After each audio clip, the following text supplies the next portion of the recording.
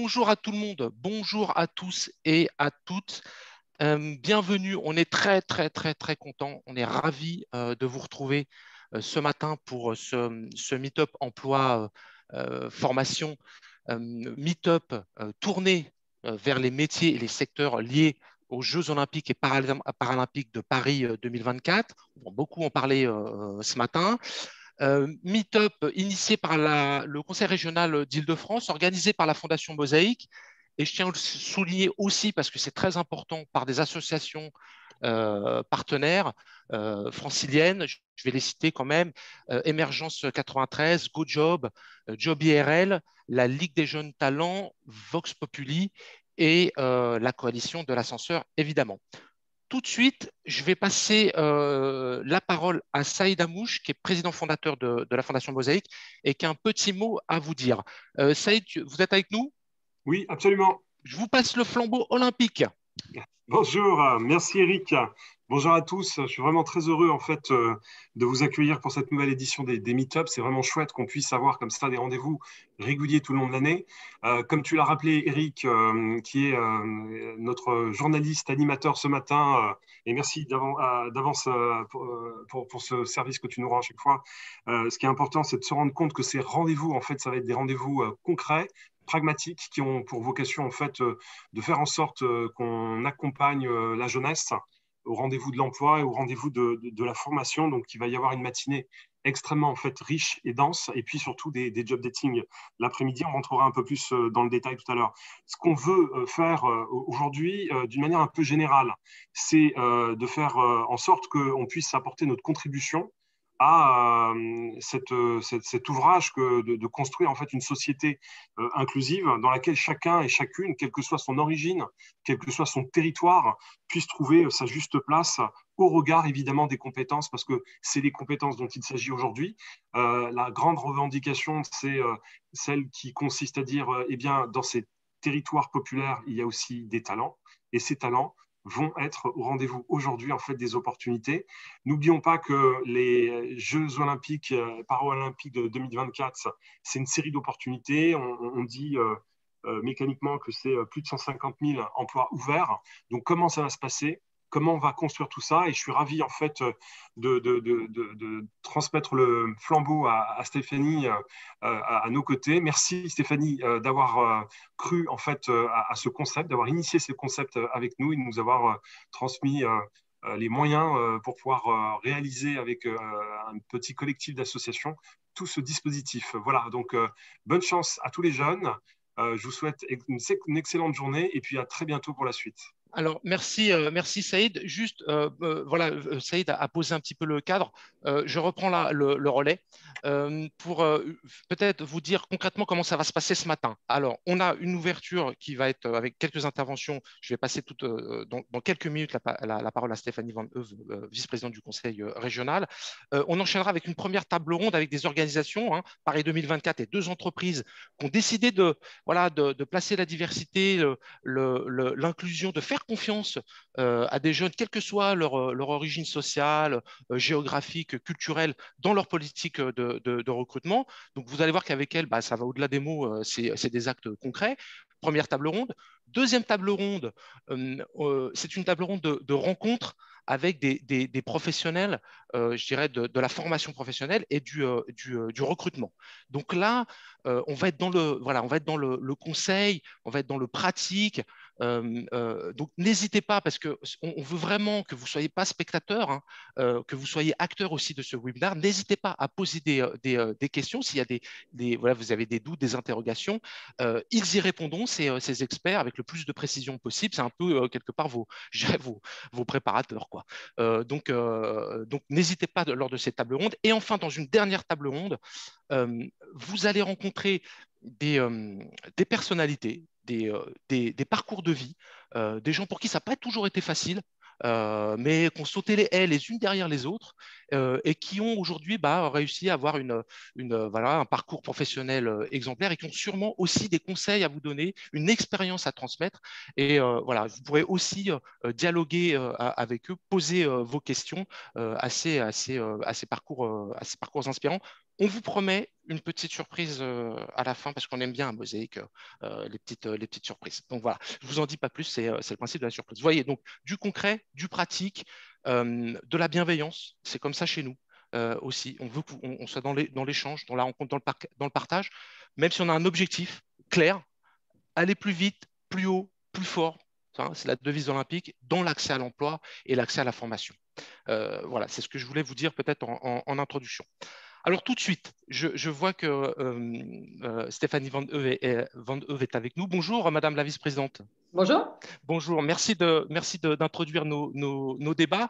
Vous êtes donc vice-présidente du Conseil régional d'Île-de-France en charge, et non des moindres, de l'emploi, de la formation professionnelle et de l'apprentissage. Par ailleurs, je précise que vous êtes maire de, Pontoise. Alors, les Jeux olympiques euh, et paralympiques de 2024, on pourrait se dire c'est dans, trois ans. Ben non, ça se prépare maintenant, euh, j'imagine. Est-ce que vous nous dire en quoi euh, l'organisation des, Jeux olympiques et paralympiques constitue à vos yeux un tremplin notamment pour l'emploi et notamment pour l'emploi des jeunes aujourd'hui et dès demain, enfin aujourd'hui et pour les prochaines années en Ile-de-France oui, alors d'abord, merci, euh, merci infiniment de, votre invitation et puis euh, à ces événements qu'on a, euh, j'allais dire initiés, mais en tout initiés, ça ne veut rien dire parce que sans, la fondation Mosaïque, on n'aurait rien pu faire. Donc, je, salue Saïd et que je félicite pour voilà, la, réactivité et puis le professionnalisme avec, lequel ces webinars sont organisés. Euh, je voudrais saluer euh, Monsieur Cadeau, Monsieur Alosio également, qui sont euh, les, j'allais dire les, acteurs opérationnels des, JO à venir de, 2024, Jeux olympiques et Jeux paralympiques. donc merci, merci à tous et merci aux différents partenaires et associations que vous, que vous avez cités. en deux mots, ces JO, c'est une opportunité absolument majeure on l'a rappelé à plusieurs reprises, on le dit trop souvent, enfin on le dit souvent parce que c'est la réalité, même si elle ne fait pas plaisir, c'est qu'on a évidemment une crise euh, économique qui se traduit euh, derrière en crise d'emploi et en particulier euh, pour les jeunes. et c'est la raison pour laquelle, dès l'instant où nous avons des événements internationaux, et pas les moindres, les Jeux olympiques, ça représente une opportunité absolument fantastique qu'il ne faut d'une manière générale pas rater, mais encore moins dans le contexte qu'on connaît aujourd'hui. Et pour répondre à votre question, euh, cette opportunité, ces opportunités, elles se présentent dès maintenant, pas en 2024, dès maintenant, parce que c'est maintenant qu'il faut que toute une génération, comme les sportifs d'ailleurs, hein, toute une génération se prépare pour être opérationnelle et au mieux de sa forme, si je puis dire, euh, donc pour les, pour les JO 2024. Cette opportunité, je vais donner quelques chiffres pour qu'on en ait bien mhm. conscience. Euh, c'est tout simplement 12 000 emplois dans la construction de création d'emplois, 12 000 rien que dans la construction. C'est 80 000 emplois dans l'organisation euh, au sens large du terme, euh, et c'est 60 euh, 000 emplois concernant le tourisme. Alors dans le tourisme, j'y inclus l'hôtellerie, la restauration, bien sûr. Mais donc on voit absolument la, mine et les gisements d'emplois que, ces JO représentent et apportent pour la région, pour la région Île-de-France. Et comme vous le disiez, vous le laissiez entendre, n'est pas en 2024, c'est dès maintenant, parce que c'est maintenant qu'on est en train de construire les, stades. C'est maintenant qu'on est en train, ça doit être maintenant qu'il faut apprendre l'anglais. Euh, c'est maintenant qu'il faut se former à un standard, si je puis dire, d'excellence euh, des Jeux olympiques. Euh, donc c'est dès maintenant, les opportunités, elles sont là. Les entreprises, elles recrutent maintenant. Les formations pour répondre à ces besoins sont d'ores et déjà disponibles. donc c'est absolument essentiel d'être au rendez-vous dès maintenant. Et enfin, l'opportunité, au-delà du nombre d'emplois, euh, je disais euh, à l'instant là en parlant de, de, label d'excellence, mais quand on peut dire sur un CV, même sur une mission euh, à durée déterminée, mais que d'une manière ou d'une autre, on a contribué à l'organisation, on a participé aux Jeux olympiques, je peux vous garantir que c'est une vraie marque d'excellence sur un, sur un CV qui ensuite a une vraie valeur pour euh, la suite de son, de son parcours dans l'emploi et de son parcours professionnel. Alors, vous, avez, euh, vous avez dit 150 000 emplois ouverts, vous avez détaillé un petit peu le, les principaux secteurs là, qui étaient exposés. alors, c'est vrai qu'on a déjà aujourd'hui, dans ces secteurs-là, une, certaine, une certaine pénurie Donc, comment vous allez faire, comment vous faites d'ores et déjà, comment s'organise la région pour essayer d'y remédier à cette pénurie? Comment, voilà, qu'est-ce que, vous pouvez mettre en place pour essayer de, surmonter cette difficulté? Oui, alors c'est tout le paradoxe, hein. c'est qu'on euh, a un certain nombre de nombreux franciliens qui, recherchent un emploi, des jeunes qui recherchent un emploi et des secteurs qui, par ailleurs, euh, éventuellement ont un peu de mal à recruter. Alors d'abord, il faut se poser la question de pourquoi. Souvent, c'est parce que ce sont euh, une méconnaissance du marché de l'emploi. Ça, c'est le premier point. Le deuxième point, c'est parce qu'il il y a des formations à la base qui ne correspondaient pas à ces nouveaux besoins. Parce que le marché de l'emploi, il, évolue assez vite en réalité. Hein. Les besoins évoluent assez vite. Et donc, euh, il y avait des formations qui ne correspondaient pas forcément aux besoins euh, des entreprises. Et puis enfin, euh, il peut y avoir des stéréotypes ou des images fausses d'un certain nombre de métiers qui, du coup, les rendent peu attractifs. Donc, on essaie de répondre à ces différentes difficultés qu'on a pu identifier. Et on a lancé déjà, d'ores et déjà, un certain nombre d'outils hein, qu'on pourra compléter éventuellement tout au long, hein, parce que l'idée, c'est d'être agile hein, et d'être réactif. Mhm. Mais on a, on a déjà lancé trois ou quatre types de mesures. Euh, la première, c'est la création de formations, de places de formation euh, supplémentaires et adaptées aux besoins. On y reviendra dans ce euh, webinaire. Voilà, donc c'est qu'on a créé 9000 places de formation dédiées au métier des JO, ceux dont on vient de, parler. Donc ces 9000 places sont d'ores et déjà disponibles et on peut, s'y inscrire et, en, bénéficier. De la même façon, on a ouvert 40, 40 000 places de formation. Je ne sais pas si on mesure ce que ça représente. 40 hein. 000 places de formation pour ce qu'on appelle les métiers en tension. Les métiers en tension, c'est ceux que j'ai cités euh, notamment.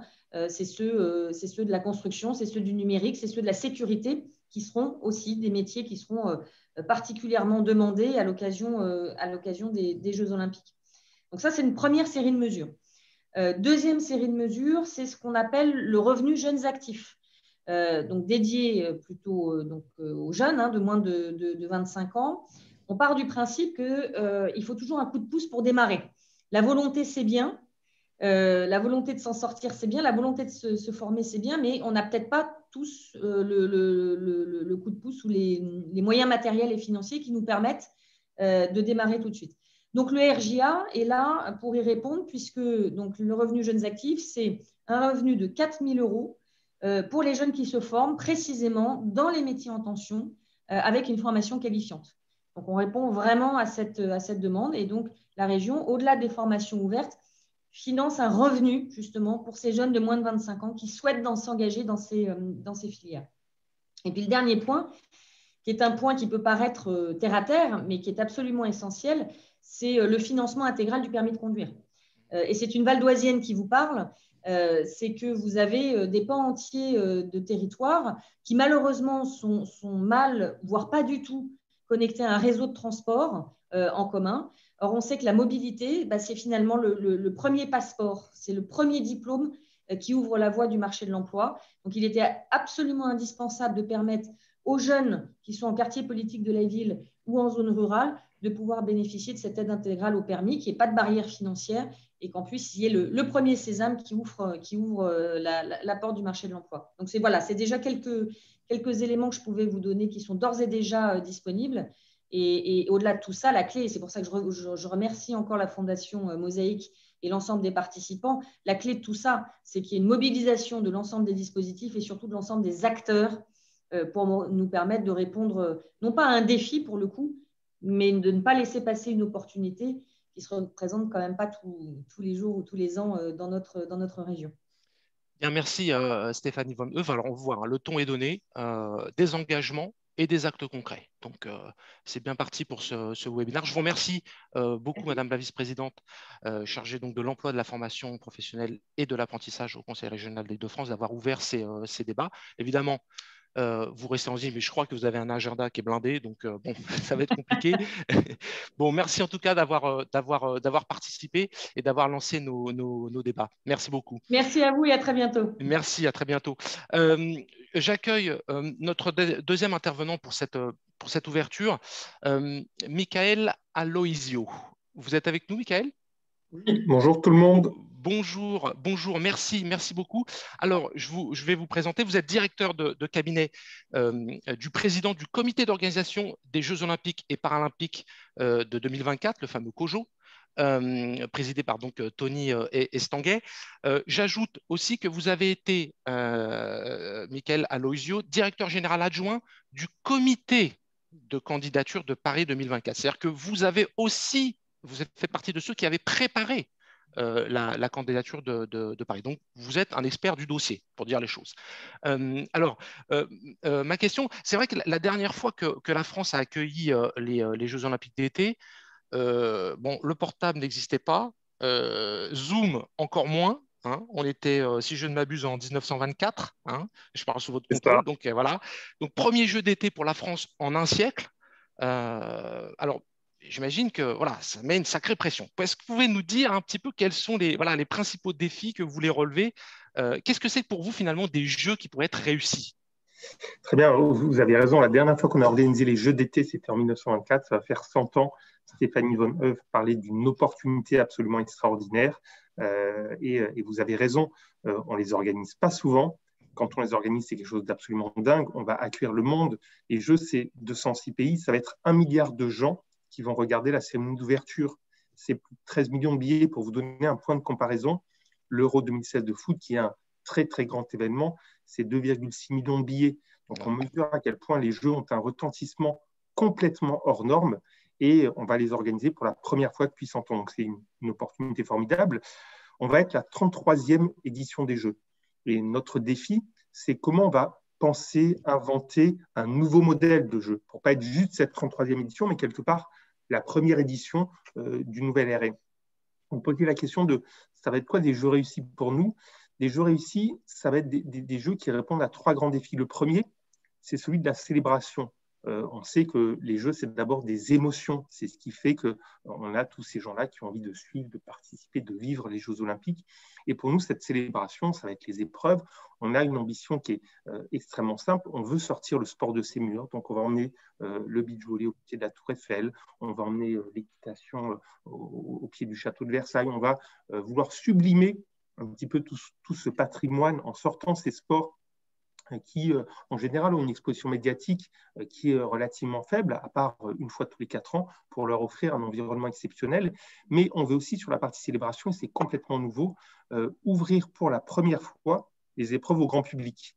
Donc, à l'occasion des Jeux de Paris 2024, il y aura également des épreuves ouvertes au grand public. Par exemple, pour être très concret, on va lancer le marathon, qui est l'épreuve phare du dernier week-end des Jeux, qui vient, finir euh, les Jeux olympiques. Et euh, après le départ des meilleurs athlètes mondiaux, eh ben, des dizaines de milliers de personnes pourront euh, prendre part au marathon des Jeux et vivre la même expérience que les athlètes. On va renouveler ça aussi en Seine-Saint-Denis avec une épreuve de masse sur le cyclisme sur route, où pareil, les gens pourront vivre leur expérience olympique. Donc on a un premier défi, ça va être de capitaliser sur ce que les jeux ont de mieux, ces émotions, mais d'arriver à les emmener encore plus loin, à la fois en sortant le sport de ses murs, mais également en permettant aux gens de venir participer pour la première fois aux épreuves. Notre deuxième défi, c'est celui de l'héritage des jeux. La compétition va être, euh, on, l'imagine, complètement dingue, mais on a envie que les jeux soient aussi un élan, un élan pour faire bouger les lignes sur des sujets qui sont importants pour nous, le sport, euh, le handicap, euh, la diversité, la parité. On sera les premiers jeux avec exactement, enfin avec la parité euh, chez les athlètes, 50% d'athlètes euh, femmes, 50% hommes. pour la, petite anecdote, les Jeux de 1900 qui avaient eu lieu à Paris également avaient été les Jeux avec la première participation féminine. Donc, on a un deuxième défi, c'est de faire des jeux un élan, une opportunité dans plein de secteurs. Et là, par exemple, pour vous donner un, exemple concret, on est mobilisé avec le ministère de l'Éducation nationale, avec le comité olympique, pour mettre 30 minutes d'activité physique par jour à l'école pour tous les enfants. On a un gros problème de, sédentarité des, jeunes et euh, contre lequel on, on, veut lutter. Donc, on a ce défi-là. On a créé un fonds de dotation pour accompagner des projets euh, autour de l'impact social du sport. Et pendant trois ans, on ne va pas faire que préparer des épreuves, et c'est un peu nouveau, on va aussi accompagner des projets en lien avec l'éducation, euh, la diversité, l'insertion par le sport, la santé, euh, pour faire en sorte que ces jeux créent un élan. Et puis notre dernier défi, c'est celui de l'engagement. Traditionnellement, lorsqu'on organise les Jeux, eh ben, c'est uniquement l'affaire de quelques personnes qui préparent l'organisation et, des athlètes. Là, on a eu envie d'ouvrir les portes du projet pour que les gens vivent avec nous l'aventure, pas seulement euh, à l'été 2024, mais dès maintenant et un peu partout. Donc on a créé deux dispositifs un qui s'appelle Terre de Jeux 2024, pour l'ensemble des territoires qui ne peuvent pas accueillir d'épreuves, pour qu'ils puissent vivre à nos côtés tous les événements, tous les programmes, tout ce qu'on va faire pendant trois ans, ils pourront le décliner dans leur commune. Et on a déjà près de 25 millions de Français qui habitent dans une ville labellisée terre de jeu. Et puis, on a un programme qui s'appelle le Club Paris 24 qui va être l'équivalent pour le grand public. D'ailleurs, j'invite tous les participants, c'est très simple, ça prend quelques secondes. Vous tapez le Club Paris 24, vous rentrez votre adresse mail et vous allez comme ça pouvoir participer pas mal euh, d'événements qu'on va organiser. Vous aurez bien évidemment toutes les infos en avant-première, euh, sur la billetterie, sur les événements, mais vous aurez aussi l'opportunité de rencontrer des champions d'aller faire du sport. On a eu cet été des, gens qui ont pu aller faire des matchs de basket 3-3 avec Tony Parker et son équipe, qui ont pu aller euh, se confronter à Florent Manoudou dans, une piscine. Donc on va avoir plein d'aventures à vivre pendant les trois ans. Donc ça, c'est notre dernier défi, d'ouvrir en grand les portes des jeux pour que les Jeux ne soient pas uniquement un événement à l'été, mais que dès maintenant, tout le monde puisse en, profiter. Alors, justement, euh, euh, euh, Monsieur Aloisio, prenons, je, suis jeune, j'habite la Seine-Saint-Denis, qui va être l'épicentre des Jeux. j'ai du mal à trouver un emploi, j'ai du mal à trouver une, formation. Comment je fais Comment vous faites-vous pour que finalement, ces Jeux olympiques, bah, ce jeune-là, il ne les regarde pas depuis sa fenêtre, puisse, que ça puisse être pour lui une opportunité professionnelle euh, pour trouver voilà, un emploi. Euh, est-ce que, voilà, est-ce que, comment vous faites pour vous essayer de, de, de, de voilà, gagner le match de, l'emploi et de faire en sorte que l'emploi des jeunes, notamment ceux issus qui sont dans les quartiers euh, voilà, peut-être les moins privilégiés, puissent s'en saisir? Ben, Des gens participent à des événements comme ce matin. Donc, à nouveau, merci à la région Île-de-France, à la Fondation Mosaïque, euh, pour, ce genre d'initiative parce que ça nous permet de promouvoir le projet auprès de ces jeunes, euh, de leur donner des clés, des informations pour euh, augmenter leurs chances de nous rejoindre. Donc c'est important aussi qu'on puisse consacrer ce temps-là. Et merci pour cette initiative. On a envie d'avoir une équipe à l'image de notre projet. les Jeux arrivent une fois dans le pays, on a des ambitions très fortes, on a envie que cette équipe, elle reflète un petit peu l'identité de Paris 24. On est aujourd'hui, alors si vous voulez, on était une vingtaine au début de l'aventure. On est aujourd'hui, je crois, 431. Alors, je, vous aurez l'occasion dans, quelques minutes d'avoir Agnès, notre directrice des ressources humaines, qui aura l'occasion de rentrer vraiment dans le détail opportunités et la manière dont, il faut s'y prendre et des conseils qu'on peut vous, donner. Et vous aurez, je crois, un peu plus tard également une intervention de Ludivine, mm chez nous, qui est, salariée chez nous, qui est une formidable championne paralympique, qui fait un travail formidable chez nous. Donc, il y aura pas mal d'éléments qui vont, qui vont arriver tout à l'heure. Euh, on est aujourd'hui 430, on sera plus de 4000 à la fin. Paris 24. Vous du COJO, là. Hein. Oui, exactement, du COJO, du comité d'organisation des Jeux.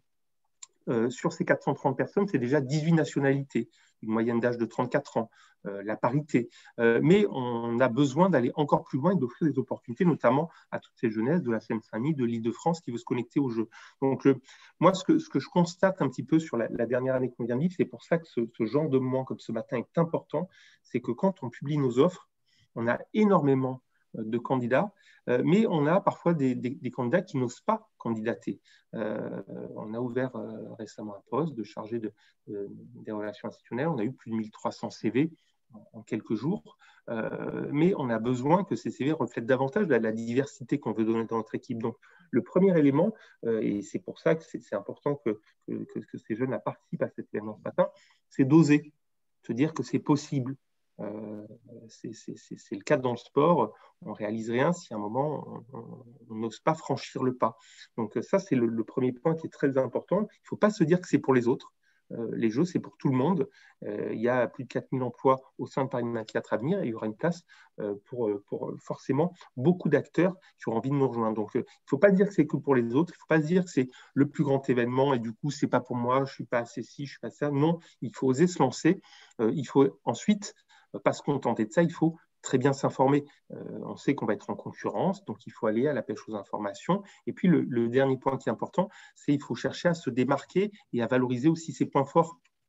Ça, on sait qu'on va être dans une petite compétition avec d'autres acteurs. Et eh ben, comment on se démarque euh, Comment on arrive à attirer l'œil des recruteurs, à mettre en avant ben, ce qu'on a de différent des autres et qui peut nous intéresser. Les jeux, ça va être une formidable aventure humaine et on a envie d'avoir une équipe qui reflète toute cette diversité-là. Donc, euh, il ne faut pas se mettre de limites. Nous, on le voit sur un sujet qui est un, un peu différent de l'emploi, mais relativement proche, ce sont les marchés qu'on passe pour les entreprises. Euh, on a mis en place tout un dispositif pour les acteurs de l'économie sociale et solidaire. Pareil, ce sont des acteurs qui traditionnellement ne se disent pas je, vais, je vais réussir à remporter un marché des jeux, c'est tellement grand, c'est tellement important. C'est que pour les très grandes entreprises. on a mis tout un dispositif en place pour les accompagner et leur permettre d'obtenir des marchés autour des jeux. Et le défi qui nous attend, bah, c'est de faire la même chose sur l'emploi. Merci, euh, Michael. Alors, on va voir euh, euh, un petit peu plus tard avec d'autres intervenants quel type de, métier, hein, quel type de, voilà, dans quel secteur il faut bien se positionner pour voilà, surfer sur la vague des, des, Jeux olympiques et, paralympiques. Je tenais à vous remercier pour votre, pour votre intervention. Merci, merci beaucoup, Michael. Et puis surtout, bah, bon courage hein, pour, la, pour, la, pour la suite. Bah, merci, on est très super. Et puis euh, Agnès et, Ludivine vous apporteront aussi beaucoup d'informations à venir, mais, vraiment, il faut se dire que les Jeux Olympiques, ça peut concerner tout le monde. Il faut oser franchir le cap, il faut se renseigner, il faut se mobiliser, il faut se donner les moyens de réussir. Il ne faut pas dire que c'est réservé que pour les autres. Alors, bah, merci beaucoup euh, sur ce, pour, ce message d'encouragement. De, Alors justement, euh, vous parlez d'engagement. je voudrais qu'on ouvre la première table ronde. Merci beaucoup encore. Hein. je voudrais qu'on ouvre la première table ronde consacrée donc justement à des entreprises, des organisations qui s'engagent pour la diversité, l'inclusion, l'organisation des Jeux olympiques et, paralympiques, quelles compétences, quels talents et, et quel emploi. J'aimerais qu'on accueille une première entreprise euh, et non des moindres. Hein, et des euh, c'est un des poids lourds du, euh, sport mondial. Rien qu'en France, c'est 750 collaborateurs et c'est surtout voilà trois bandes qui, ont, qui, font partie de l'histoire du, du, sport. Hein. Évidemment, vous avez tous reconnu Adidas. bonjour Mathieu Sidokpo, vous nous entendez? Très bien, Eric, vous m'entendez? Oui, très très bien. Merci, merci de, de, nous rejoindre. Merci beaucoup. Euh, Mathieu Sidokpou, vous êtes directeur général d'Adidas euh, France. Je parle sous votre contrôle, évidemment, et vous avez été nommé euh, en juillet 2020. C'est bien ça? Absolument. OK. Alors, depuis dix ans, c'est vrai qu'Adidas euh, est signataire de la charte de la diversité, voilà, qui comprend un certain nombre d'engagements. Ça veut dire que en fait, la question de, l'ouverture à tous les talents, quelle que soit l'origine, ce n'est pas véritablement quelque chose que vous, que vous découvrez. Ce n'est pas, c'est pas, voilà, pas une nouveauté. Non, absolument. Alors, je vais faire le lien avec ce que disait Michael, que, que, j'écoutais évidemment avec attention. Notre terrain, de jeu, pardon, c'est le sport. Euh, donc, euh, par définition, la diversité et l'inclusion font partie de notre quotidien et, de notre terrain de jeu. Euh, je n'ai pas besoin de faire de grands discours pour dire que l'ensemble des athlètes représentent de façon parfaite cette, diversité, cette inclusion. Les athlètes concerts, que les grands événements comme les Jeux olympiques et paralympiques sont une espèce de, démonstration assez systémique de ce que peut faire l'inclusion et la diversité pour, pour la planète. Donc, si je reviens un peu en arrière, parce que votre question était sur c'est pas nouveau, non, c'est vraiment pas nouveau. Mhm. On a un ADN qui est assez simple. On parle souvent d'ADN. Nous, on a une croyance fondamentalement, c'est que le sport a le pouvoir de changer les vies. Et c'est ça qui nous anime tous les jours. Et je vais, je vais, je vais partir d'une anecdote. Je trouve ça toujours intéressant. Les faits sont têtus. On est fan. On est fan des euh, anecdotes. Une anecdote, je ne sais pas si elle va parler forcément aux plus jeunes d'entre nous, mais qui illustre le fait que la diversité et l'inclusion, c'est pas neuf pour nous. Euh, la toile de fond, c'est les JO de 1936, euh, des JO euh, assez dramatiques, puisqu'ils sont à Berlin, à l'époque où le nazisme est en train de monter dans, le monde, où Adolf Hitler est dans les tribunes et évidemment veut pousser les athlètes à rien. Et comme vous le savez peut-être, dans ces JO de 36, il y a un phénomène qui s'appelle Jesse Owens, un, un, un sprinter noir américain qui gagne quatre médailles d'or, qui, qui vraiment euh, démontre à, Hitler que tout ce qu'il pensait est faux, archi faux. Et bah, Jesse Owens, euh, euh, la raison, une des raisons pour laquelle il, gagne, c'est son talent intrinsèque et un petit peu parce que notre fondateur, Adi Dassler, a été le voir pendant les JO pour lui demander d'essayer une nouvelle innovation. Jesse Owens a couru avec des pointes Adidas et à l'époque, les pointes pour le sprint étaient quelque chose de tout à fait nouveau. Et donc, Jesse Owens a été, si vous voulez, le premier athlète Adidas euh, afro-américain et c'était en 36. Alors évidemment, c'est une anecdote dans un contexte dramatique, mais c'était juste pour montrer en quoi, euh, pour nous, c'est quelque chose qui est lié intrinsèquement à qui on est.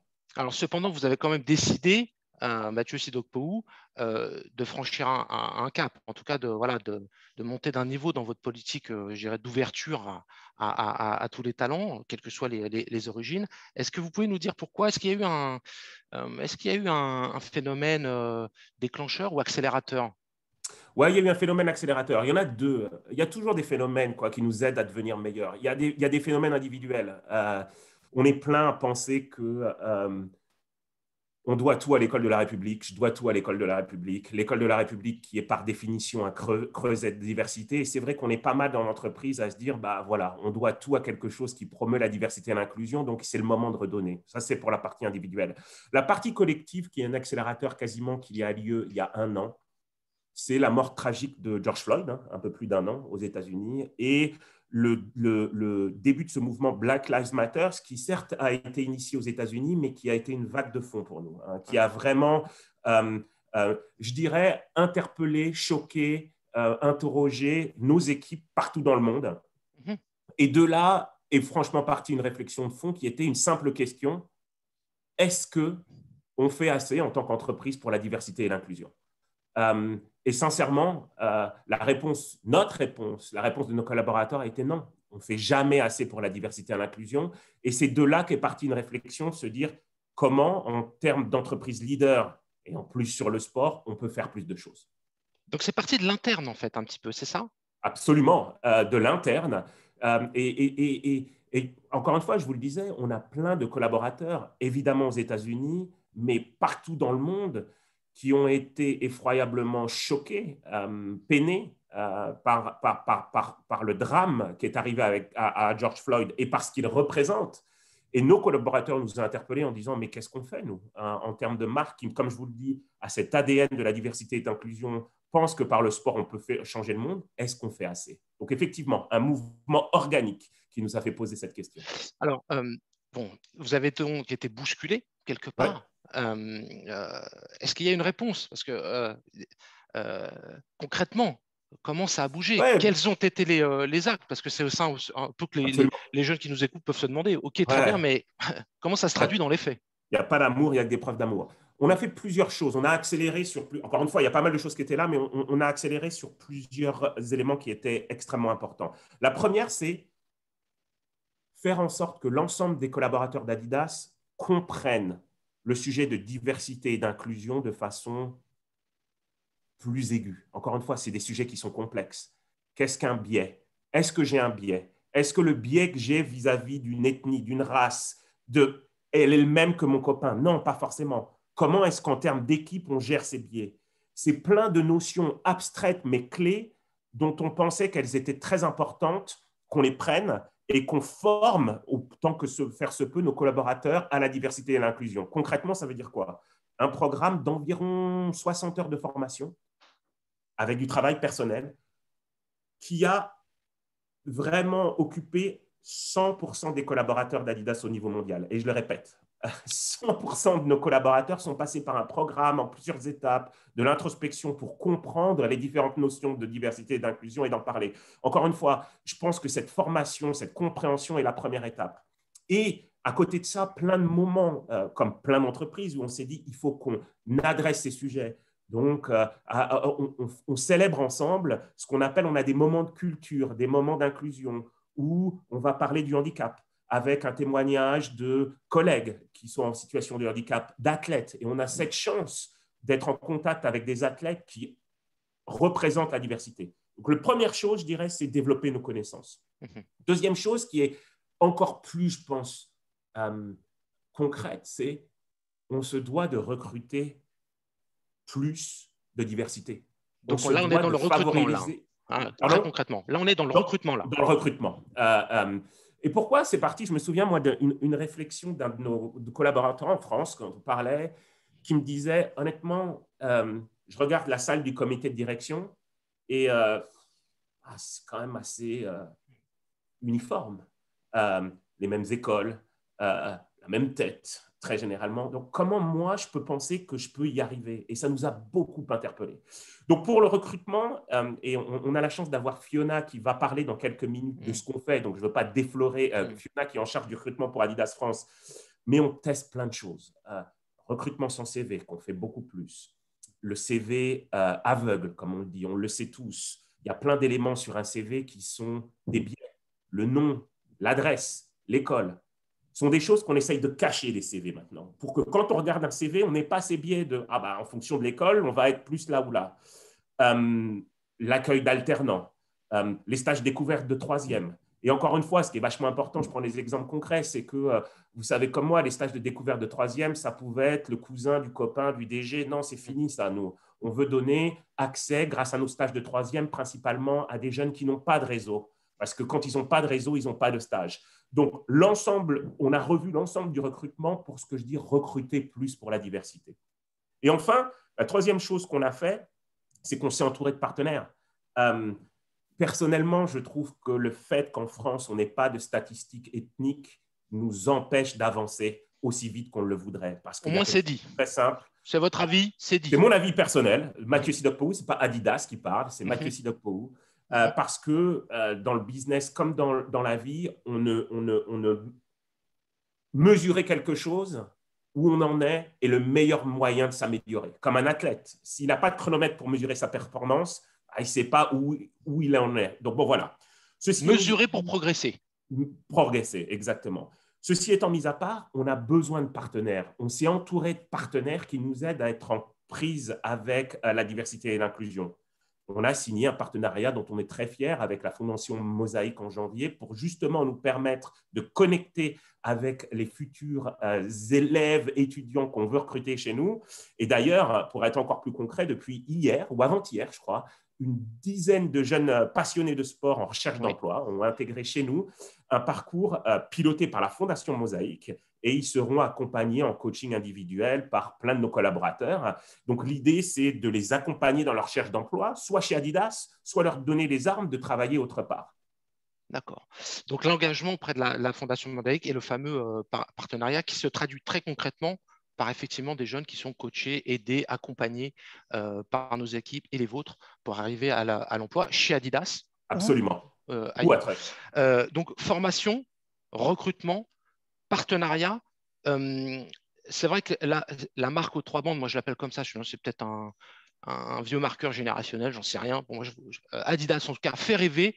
et je, vraiment, je, voudrais profiter de votre présence peut-être pour que, en tant que directeur général d'Adidas, allez vous donner un, tuyau, quoi, un petit conseil à celles et ceux qui, voilà, qui rêvent de vous rejoindre parce que Adidas, c'est une marque qui, voilà, qui attire.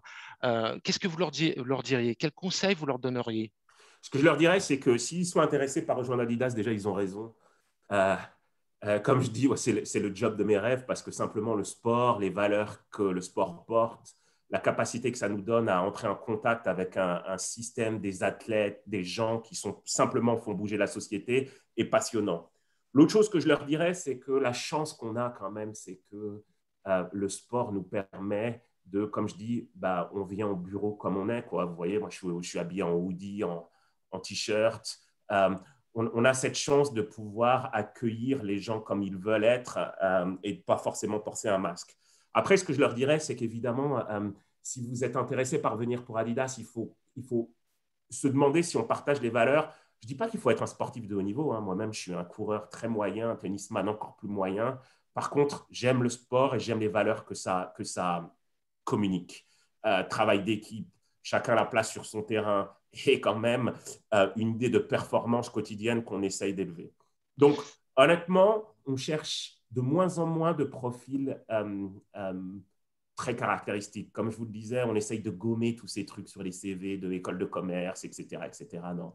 Donc, réfléchissez à votre attitude. la façon dont, dont, on résume, pour nous, c'est ce qu'on appelle impossible is nothing. Rien n'est impossible. Si vous pensez que vous avez cette attitude-là de se dire honnêtement, rien n'est impossible. On me dit ça, je ne vais pas y arriver, mais je vais trouver un moment d'y arriver. C'est l'attitude, on, recrute pour cette attitude. En quelques mots, Eric. Merci euh, beaucoup. Alors, vous m'autorisez, peut-être, je, Mathieu, il y a une petite question qui vient d'un internaute et qu'on aimerait éventuellement vous poser. Bien sûr. Vous me dites. Hein. Euh, c'est vrai que ce n'était pas forcément prévu, mais elle est, elle est, elle est importante et j'aimerais bien. Euh, quel est votre engagement concernant le recrutement des personnes en situation de handicap? Est-ce que vous avez la même approche vis-à-vis des, personnes à mobilité réduite ou, personnes handicapées, une démarche d'inclusion Absolument. et, pour la même, et, je dirais que notre constat est le même que pour l'ensemble des diversités, c'est que oui, on a une démarche. Deux, on n'en fait pas assez, très sincèrement. Et trois, euh, on a besoin de partenaires pour nous aider à recruter. Donc, on a plein d'exemples euh, dans plein de types de handicaps différents. Euh, on a eu la chance d'accueillir des collaborateurs autistes dans nos magasins. On a la chance d'avoir des collaborateurs à mobilité réduite, soit dans nos magasins, soit dans notre centre de distribution qu'on a à Villers. Donc, on le fait on trouve qu'on ne le fait pas assez. Et donc, on a la même volonté de, s'entourer de partenaires pour nous aider à le faire mieux. Merci, euh, merci Mathieu Sidokpou. Je rappelle que vous êtes donc euh, directeur général d'Adidas euh, France. Euh, merci de votre participation, c'était euh, très concret, très engageant.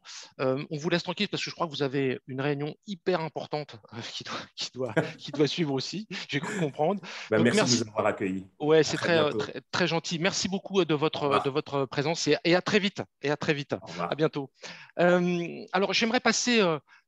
Pour suivre, pour continuer cette, cette, table ronde, passer de l'énergie sportive de Mathieu Sidokpou à l'énergie tout court. Euh, puisqu'on va accueillir, accueillir Élise Maury. Est-ce que Élise est avec nous? Bonjour Eric, oui, je suis avec vous. Est-ce que vous m'entendez bien? Oui, on vous entend parfaitement bien. Bonjour Élise Maury, merci d'être là. Je disais énergie tout court parce que vous êtes la, la, DRH adjointe du groupe Engie, euh, en charge de la gestion des talents de la marque employeur et de l'innovation RH. Je rappelle quand même, Engie, si c'est nécessaire, c'est quand même un des leaders mondiaux euh, de, l'énergie avec une multitude de, voilà, de, métiers. Euh, je parle sous votre contrôle, mais près de 90 000 collaborateurs en France, c'est quand même c'est pas mal. alors justement, quand on est dans un groupe comme ça avec 90 000 collaborateurs, comment vous abordez-vous les enjeux peut-être de, l'inclusion, de la diversité, de l'ouverture au talent, quelles que soient voilà, les, origines? Comment voyez ça pour, pour NJ alors, merci Eric de rappeler les quelques chiffres clés d'Engie et je ne vais pas vous inonder de chiffres clés, mais, c'est vrai qu'on est un, des employeurs majeurs en France. Et, au-delà du fait qu'on a 90 000 collaborateurs, on recrute euh, par an euh, en moyenne 30 000 collaborateurs dans le monde, dont 11 000 en France. 11 000 en France. Voilà, 11 000 en France. Et ça, c'est un message que j'adresse aussi à tous ceux qui nous écoutent. 11 000 personnes en France. Euh, 70% de nos métiers, donc de nos recrutements, sont des métiers techniques parce qu'on on travaille dans le domaine de l'énergie et de la transition énergétique avec 70% des, recrutements qui sont des métiers techniques et ensuite 25% des fonctions commerciales IT. Le digital prend une grande place dans nos, voilà, dans, nos métiers et des fonctions d'ingénieur. Euh, très clairement, euh, pour Engie, euh, je, a à la fois ce que le groupe, euh, la conviction du groupe sur ce sujet-là, c'est que le sujet de la, diversité et surtout de l'inclusion, parce que l'inclusion, c'est permettre à chacun d'être soi-même, de pouvoir avoir une place, je dirais, autour de la table. Et, et, ça ne suffit pas de travailler sur la diversité qui reste, euh, voilà, ce sont des chiffres. L'inclusion, c'est la culture. Voilà c'est vraiment permettre à chacun d'être soi-même et de participer à notre chantier qui est d'arriver vers une transition énergétique euh, qui soit neutre en carbone. Voilà, c'est en termes d'impact climatique, etc. Et donc, c'est vraiment travailler, bien sûr, sur la diversité, parce que si vous ne mesurez pas, vous n'avez pas les chiffres, vous ne voyez pas si vous progressez. Et en mhm. même temps, c'est vraiment transformer la culture. Et pourquoi c'est fondamental? C'est d'abord pour ressembler à la société qu'on sert. Voilà, Mhm. ressembler à nos clients. Voilà, il faut, que notre entreprise, elle ressemble aux clients qu'on sert. Et aussi, c'est un sujet de performance. Si vous avez des gens qui ont tous le même mode de pensée, qui viennent des mêmes écoles, euh, des mêmes cultures, face à des enjeux énergétiques, climatiques majeurs qui sont complexes, ben vous aurez les mêmes modes de pensée. Et donc, c'est un sujet de performance. Et, donc, en ayant euh, des profils différents, Hein, et qu'on parle de diversité vraiment sous toutes leurs formes, c'est ce qui va permettre de, résoudre des grandes, grandes problématiques pour nous euh, en termes d'enjeux climatiques et énergétiques. Trouver des solutions, être innovant, être créatif, c'est en brassant tous ces profils différents que vous arrivez. Et, et, je peux vous dire, on a des exemples, mais à répétition là-dessus. Donc, le groupe s'est engagé très fortement. On a le label diversité depuis 2012. On vient d'être. Voilà. Très bien. on s'engage avec un engagement très fort, et je, le mentionne parce qu'on s'est engagé au niveau du groupe, c'est-à-dire qu'on a, on a, on s'est engagé sur deux indicateurs extra-financiers.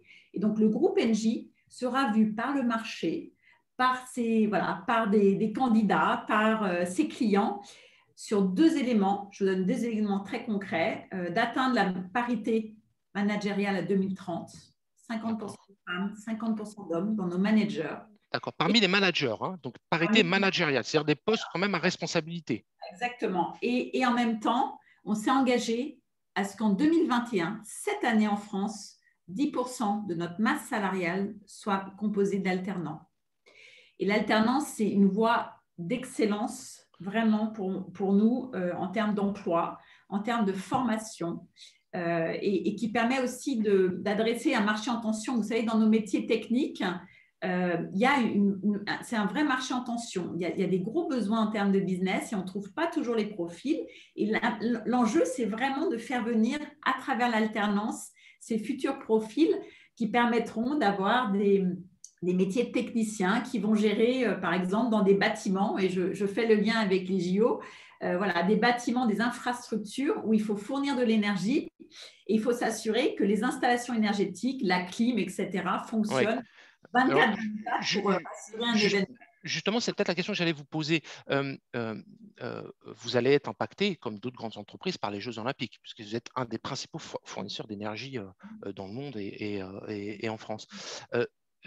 Est-ce que vous pourriez peut-être éventuellement nous dire, à votre avis, comment vous sentez les choses, c'est-à-dire en termes d'opportunités professionnelles, quel métier, à votre avis, quelle, voilà, quelle peut-être éventuellement formation, dans, quoi les jeunes qui éventuellement nous écoutent, il faudrait aller les, les, voilà, les orienter pour qu'ils puissent profiter voilà, de l'effet peut-être Jeux olympiques à travers avec Et, je dirais qu'il y a cet effet-là, mais en fait, on n'attend pas les Jeux Olympiques. Oui, bien sûr. Euh, déjà démarré et on s'est mis en mode extrêmement proactif, notamment sur l'île de France, hein, euh, pour pouvoir proposer des opportunités. Alors, on a un site euh, qui, permet voilà, aux personnes qui, qui m'écoutent d'accéder à tous les emplois. Et je vais vous donner un exemple très concret. aujourd'hui, donc ce n'est pas dans quatre ans, hein, c'est dans trois ans, c'est dès aujourd'hui, on se prépare et, vous avez, par exemple, sur l'île de France, plus de 300 postes d'alternants qui sont déjà euh, publiés.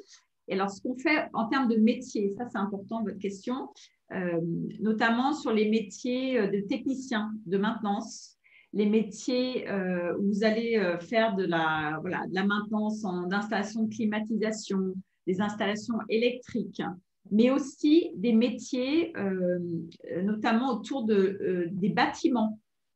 Euh, c'est-à-dire comment est-ce qu'on consomme mieux et moins. Donc, c'est la performance énergétique, donc des, métiers de techniciens qui travaillent sur la performance énergétique. Donc, c'est consommer mieux, c'est-à-dire plus d'énergie renouvelable, parce que mhm, bien sûr. ces métiers-là. Euh, consommer moins aussi à travers des outils digitaux. Dans, dans, les métiers vraiment qui sont en train de, de, se développer énormément, il y a les métiers de des énergies renouvelables, mhm. les métiers du digital. Donc, mhm. vraiment, je m'adresse euh, aux jeunes qui m'écoutent en disant ces métiers-là sont extrêmement prometteurs en termes d'avenir.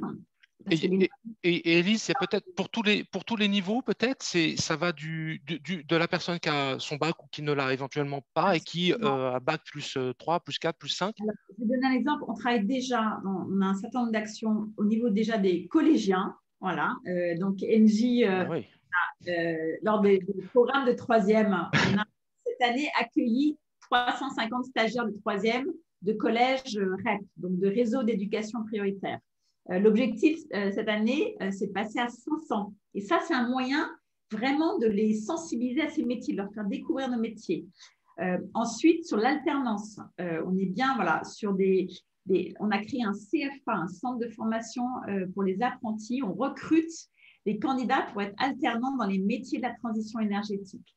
Et ça, ça a une vocation de les former, de les préparer. Mhm. Euh, on a développé aussi des parcours emploi mobilité sport. Donc, je fais le lien qui s'appelle PEMS. donc, on, a formé en 125 jeunes euh, en 2020 avec le Club Face dans, la, dans les Hauts-de-Seine, voilà, 125 mhm. où on permet de réinsérer ces jeunes en collaboration avec l'armée pour qu'ils reprennent le chemin des études et de l'emploi. Voilà. J'aime bien être sur ces Oui, mais s'il faut, il le faut. Et comment on fait, Lise, pour se renseigner sur tout ça? Parce que là, il y a plein d'infos. Donc, où est-ce qu'on va? Alors, d'abord, les, petits conseils. Oui, les euh, petits conseils, exactement. Les petits conseils d'Élise Maury. Voilà, DRH d'Engie. Donc, il faut s'inscrire, participer au speed recruiting euh, du jour. Donc, merci vraiment à la Fondation Mosaïque, parce que c'est formidable ce que vous faites, euh, vraiment. Et, voilà, vous avez cette opportunité, inscrivez-vous. consultez les, offres. Qualifiez votre profil. Euh, répondez aux annonces en ligne, et revenir régulièrement. Et notre site, il faut y revenir régulièrement. Le jobs.edgy.com, il bouge en permanence parce que les besoins, vous voyez, là, on a 1500 postes d'alternants euh, global, hein, pas qu'en Ile-de-France, on a 300 en Ile-de-France. On vise 4000 d'ici un mois, deux mois. Donc, il faut y aller régulièrement. Aussi, c'est votre visibilité. Créer, voilà, créer votre profil sur LinkedIn. Euh, demandez à quelqu'un de vous aider là-dessus, mais créez votre profil et essayez aussi d'interagir un maximum parce que à travers LinkedIn aussi, c'est tout un réseau que vous créez. Euh, et aussi de vous connecter avec des gens qui peuvent vous aider et vous conseiller. Donc, osez. Moi, j'ai bien aimé euh, ce qu'a dit le DG d'Adidas France, c'est faut oser la prise de contact, tout réseau confondu. C'est ça qui est super avec LinkedIn. Voilà, c'est démocratisé. Voilà, on peut contacter un PDG, un DG. Et je vous assure, je reçois beaucoup de messages. Il faut y aller, il faut oser. Et puis, vraiment, mettez en avant votre personnalité. Ah. Ça rejoint ce qui a été dit auparavant. Euh, aujourd'hui, on ne recrute pas que sur les compétences euh, techniques. On recrute, aussi sur les compétences comportementales. Voilà. C'est ce qu'on appelle les soft skills. Mm-hmm. hard skills, excusez-moi, j'utilise quelques mots d'anglais. Euh, et donc, mettez en avant votre personnalité, mettez en avant vos engagements. Voilà, quand euh, vous faites du tutorat, quand vous aidez euh, mhm. quelqu'un dans ses devoirs, etc. Mhm. Ça montre, vous êtes, voilà. Montrez-nous, montrez-nous qui vous êtes finalement, au-delà du diplôme, au-delà de.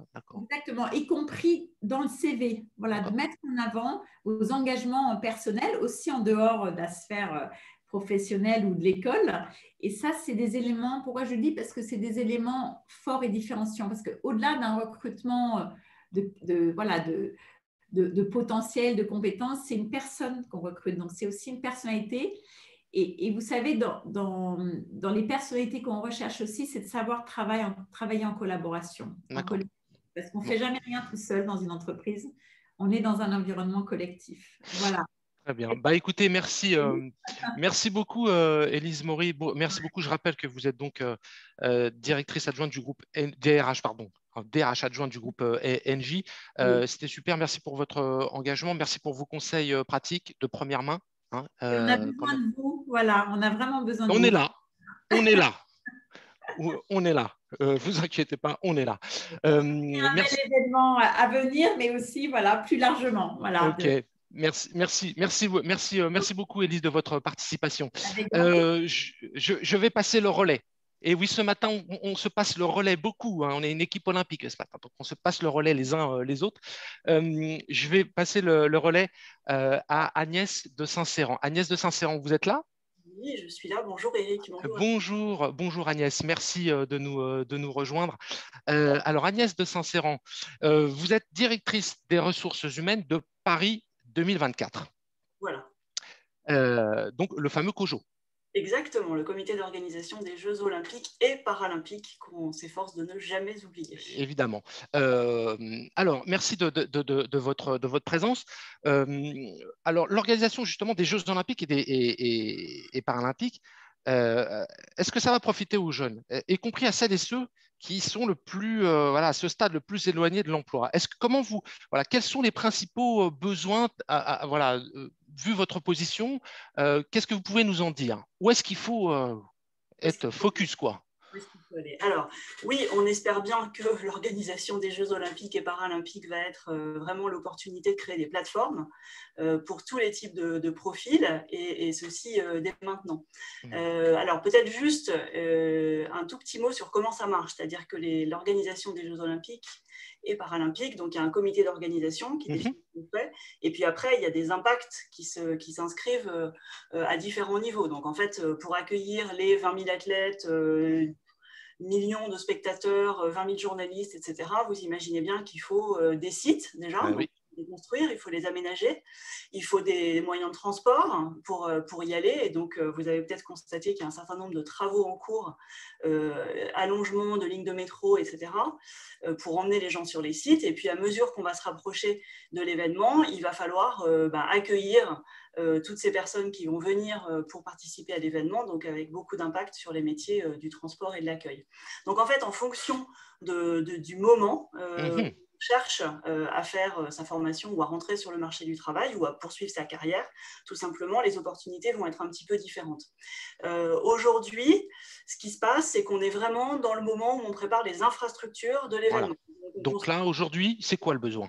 Donc aujourd'hui, les besoins, euh, et l'année 2022 euh, va être une année de pic euh, pour ça, une année de, vraiment de maximum, ça va être sur le bâtiment et les travaux publics. C'est vraiment là, donc c'est tout ce qui a trait à la gestion chantier et tous les métiers les métiers de chantier, donc des conducteurs de chantier. Euh, là, il y en a vraiment pour tous les niveaux, hein, c'est-à-dire qu'on va euh, de métiers très très opérationnels sur lesquels on peut rentrer avec des niveaux CAP, à des, donc des, métiers dans la maçonnerie, des métiers après de charpentier. Enfin, en plus, il y a tout un tas de filières dans les, qui permettent de progresser à l'intérieur de ces métiers-là, mais aussi des métiers de conducteurs de chantier, des métiers d'architecte, des métiers d'ingénieur, etc. Donc, mmh il se, passe, euh, il se passe des choses et il va continuer à se passer des choses.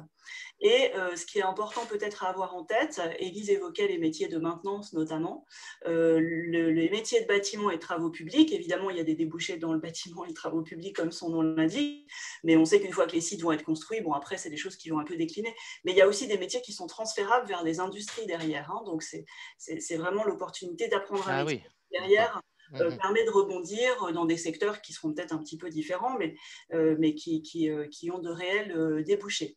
on a aussi, donc ça c'est vraiment là maintenant tout de suite. Donc, oui, c'est maintenant que ça se passe. Oui, c'est maintenant que ça se passe.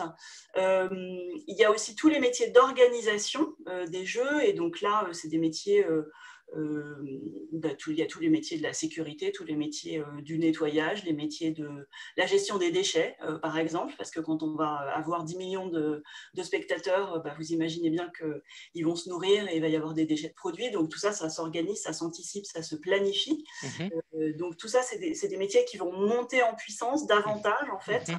entre 2022 et 2024 aussi y avoir des choses qui vont se, qui vont se passer. Et puis, euh, sur 2024, il y aura de très gros volumes, mais du coup sur des durées plus courtes pour le coup, euh, de, sur euh, tout ce qui est métier de l'accueil, donc les agents d'accueil du public, la billetterie, l'orientation des spectateurs, etc., sur les sites directement, où là, on va avoir des besoins très forts au moment, de, au moment des jeux, tout simplement. Hein. donc, on voit bien des besoins variés qui évolue en fonction du phasage, en, gros, hein, c'est ça, de, la proximité avec euh, les Jeux olympiques, mais déjà des besoins immédiats. Quoi. Voilà, déjà des besoins dès aujourd'hui euh, dans toutes les entreprises qui servent le secteur. Donc là, pour le coup, ce n'est pas forcément au comité d'organisation. Alors, on va y venir. Voilà, nous, on ne construit pas les sites nous-mêmes. En revanche, euh, voilà, de, nombreuses, très nombreuses entreprises euh, et administrations qui sont associées à cette dynamique. Oui, parce qu'il faut être clair très, très rapidement. On a dit 150 000 emplois ouverts. OK, mais ça ne veut pas dire que c'est le, comité d'organisation des Jeux olympiques et paralympiques qui va recruter. Alors, exactement. C'est-à-dire que si vous cherchez sur un chantier, ne m'envoyez pas votre CV parce que je ne pourrais pas faire grand-chose pour vous directement, puisque nous, on est vraiment, on est une petite organisation. Hein. Les, chiffres, après, on va parler de, de comité, évidemment, mais on est une beaucoup plus petite organisation que tout ce qu'on a évoqué jusqu'à présent, euh, puisque nous, on est vraiment en charge de euh, bah, développer une vision et coordonner et s'assurer que tout avance dans le bon sens, en fait. Mais euh, mhm. juste pour vous donner une information, Élise parlait de chiffres très, très importants sur la France, 90 000 personnes. Bon, nous, on est un peu plus de 400, quoi, vous voyez, à date. alors, alors, alors, Agnès, malgré tout, vous êtes 400. Mais on est 400, exactement. Vous êtes 400. mais toutes les semaines. voilà, mais vous allez passer, et vous commencez déjà, vous allez passer à 4000. Alors, on sera à 4000, ça ne sera pas forcément 4000 euh, chez nous, mais en, gros, voilà, l'organisation des Jeux Olympiques euh, très très directement euh, va être autour de 4000 personnes. on est en train, on travaille sur les chiffres en fait hein, cette année, puisqu'il y a un gros gros travail d'évaluation de nos besoins précis en termes de nombre et de compétences derrière. mais effectivement, une montée en puissance, une montée en puissance assez rapide. Alors justement, sans forcément anticiper de trop, mais d'ores et déjà, quel, quel besoin vous avez, vous, en tant qu'organisation, le COJO, quel besoin vous avez en compétences, en, profil Qu'est-ce que vous cherchez exactement? Alors, euh, ce qu'il faut avoir en tête, c'est qu'organiser un événement de cette taille-là, en fait, ça requiert à peu près quasiment tous les types de métiers. Hein. donc c'est extrêmement large. On pense évidemment aux métiers sportifs, mais il n'y a pas que ça. Euh, on cherche dans tous les domaines. Aujourd'hui, alors j'ai vraiment, je suis allée faire le compte sur mon site paris2024.org. Euh, évidemment, je n'ai pas les mêmes chiffres qu'Élise, mais moi je cherche les 30 CDI ouverts euh, en ce moment. J'en ai en finance, j'en ai en juridique, j'en ai en ingénierie, j'en ai en informatique, j'en ai en digital, en marketing, en communication, en RH. Enfin vraiment, j'en oublie parce que vraiment la palette des métiers est très très large. Euh, et puis je cherche 60 alternants. Euh, aussi, on a une campagne ouverte et là, euh, la campagne de, collecte des CV est ouverte jusqu'au 17 mai. Donc moi aussi, j'en profite pour faire ma retape et pour vous dire Et là, pareil, il y en a absolument dans tous les métiers. Donc vraiment, si, si, Donc, plan alternance jusqu'au 17 mai. Ouais. Combien vous cherchez? 60. On cherche 60 personnes, je crois que c'est 60, euh, pour septembre. Et donc, euh, donc vraiment là-dessus. Et, on a vraiment le souhait, parce que vous disiez qu'on va continuer à grandir, mais en fait, on, prête une attention euh, très grande au recrutement de nos stagiaires et de nos alternants, parce qu'en fait, on est très fiers de dire que depuis 2018, on a quasiment un alternant sur deux qui continue avec nous après sa première alternance, soit une deuxième alternance, soit un CDD, soit un CDI. Donc, c'est vraiment un, c'est le, le, le banc des remplaçants. C'est vraiment là où on va chercher quand on a des postes qui s'ouvrent. Donc, on, souhaite, euh, on se dit que plus on va recruter bien et varié euh, dans nos recrutements. C'est la question que j'allais vous poser, Agnès. Hein vous recrutez varié, comment, comment c'est-à-dire? Quels engagements vous pouvez prendre éventuellement? Oui, alors en fait, euh, donc évidemment, Bon, le sport, les valeurs du sport, on, l'a tous dit, donc je, le redis, mais je ne vais pas trop insister là-dessus. Hein. Euh, on a vocation, le sport c'est un creuset, c'est vraiment l'endroit où chacun peut s'exprimer en fonction de son talent. Et donc évidemment, euh, en tant que comité d'organisation, on a le souhait de refléter ça. Et on souhaite déjà être un employeur tout à fait exemplaire et s'assurer que chacun quel qu'il soit, a sa chance chez nous et a la, possibilité de progresser. Et puis après, il y a deux axes sur lesquels on a envie d'être encore plus euh, proactif. C'est celui du handicap. Euh, voilà, donc ça, on, travaille beaucoup là-dessus et je pense que vous allez euh, en réentendre parler après. Et aller recruter là où on va organiser les jeux. Et en fait, la Seine-Saint-Denis en particulier et les quartiers prioritaires de la ville. Ah. Euh, c'est là où il va y avoir beaucoup de sites et beaucoup de choses qui vont, qui vont se passer. On n'a pas envie que euh, les habitants de ces quartiers-là regardent passer le train. On a envie qu'ils montent dedans, en fait. Donc, on aime vraiment, on a vraiment le souhait euh, bah, d'être aussi, de recruter aussi les talents qui sont issus de ces quartiers-là. Voilà. Alors, la Fondation Mosaïque est à vos côtés. Absolument. et je vous rappelle que nous avons un site qui s'appelle diversifiervostalents.com sur lequel vous pouvez publier vos offres euh, et qui peut, euh, voilà, qui facilite la rencontre entre des employeurs, des recruteurs, pardon, qui sont dans cette démarche d'ouverture et des jeunes qui viennent euh, justement de, de, quartiers dits politiques de la ville. Diversifiervostalents.com. Agnès, j'ai une petite question, si vous me permettez. Euh, euh, d'un internaute.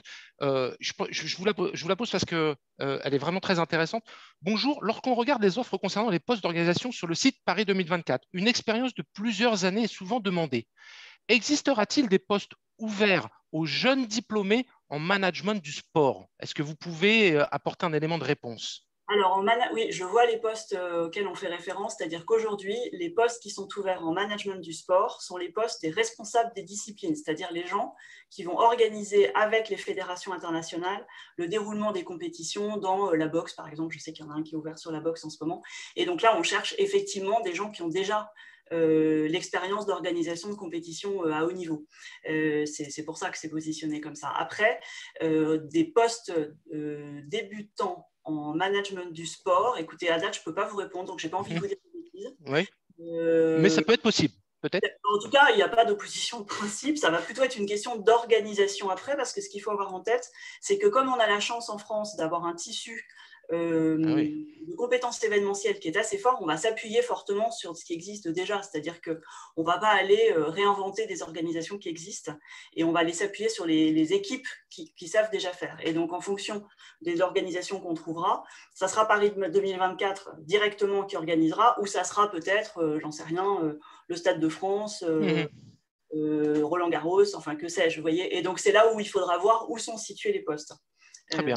C'est ça que j'ai du mal à vous répondre mais je peux. Ah oui, bien sûr. Ah bah, bien sûr. Alors, l'objectif quand même, parce que ça, on y travaille, ça nous occupe depuis un certain nombre de mois et c'est important, c'est d'ouvrir, alors on ne sait pas encore si ça va être cet été ou à la rentrée, il y aura un site unique Pôle emploi dédié à tous les emplois des jeux, c'est-à-dire les nôtres au comité d'organisation, mais aussi tous ceux qui vont être euh, comment dire, associés aux jeux, donc ceux qu'on évoquait avant, euh.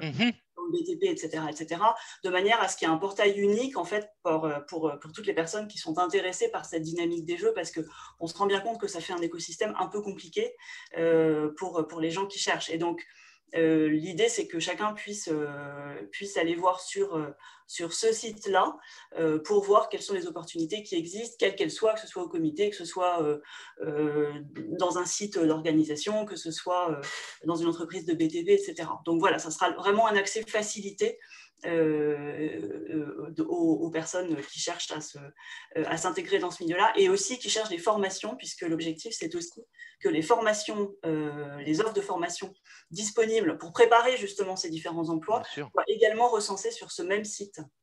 Euh, Agnès de Saint-Céran, peut-être peut-on finir sur euh, aussi une, dernière peut-être question concrète, puisque vous aussi, vous êtes une, euh, voilà, une, une, directrice des ressources humaines, donc vous, connaissez évidemment bien les, problématiques de, recrutement. Est-ce que vous avez, voilà, qu'est-ce qu'il faut pour rejoindre Paris 2024 que, Quelle aptitude il faut avoir? Quel, quel conseil vous pourriez donner à, ceux qui nous écoutent, ceux et celles d'ailleurs. Oui, alors des choses très, enfin, que vous avez déjà entendues. Euh, d'abord, un, euh, on n'a pas de profil standard et on cherche à organiser des jeux euh, différents, donc on a aussi besoin de regards différents.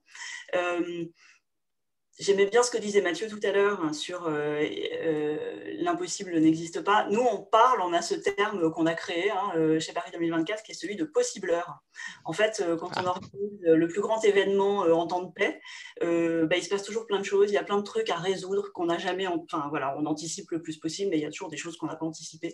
Donc, on a besoin de gens qui sont curieux, qui sont observateurs, qui sont créatifs, qui travaillent bien en collaboration parce qu'effectivement, on est une organisation qui bouge tout le temps. Donc, on a aussi besoin de gens qui sont à l'aise là-dedans. C'est important. Mhm. Euh, Ce n'est pas un environnement stable, forcément. Ça bouge tout le temps. Euh, et euh, qu'est-ce que je dirais et qui ont un haut niveau de, euh, d'ambition et d'exigence puisque vraiment c'est, ça fait partie de nos valeurs euh, créativité exigence et partage. Voilà donc c'est ça.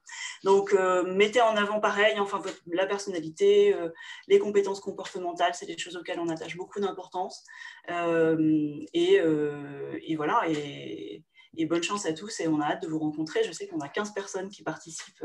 On va rencontrer cet après-midi. Je, voilà, j'espère vraiment que ça, ça, avancera parce que je trouve que c'est un super, euh, super événement et, l'occasion de.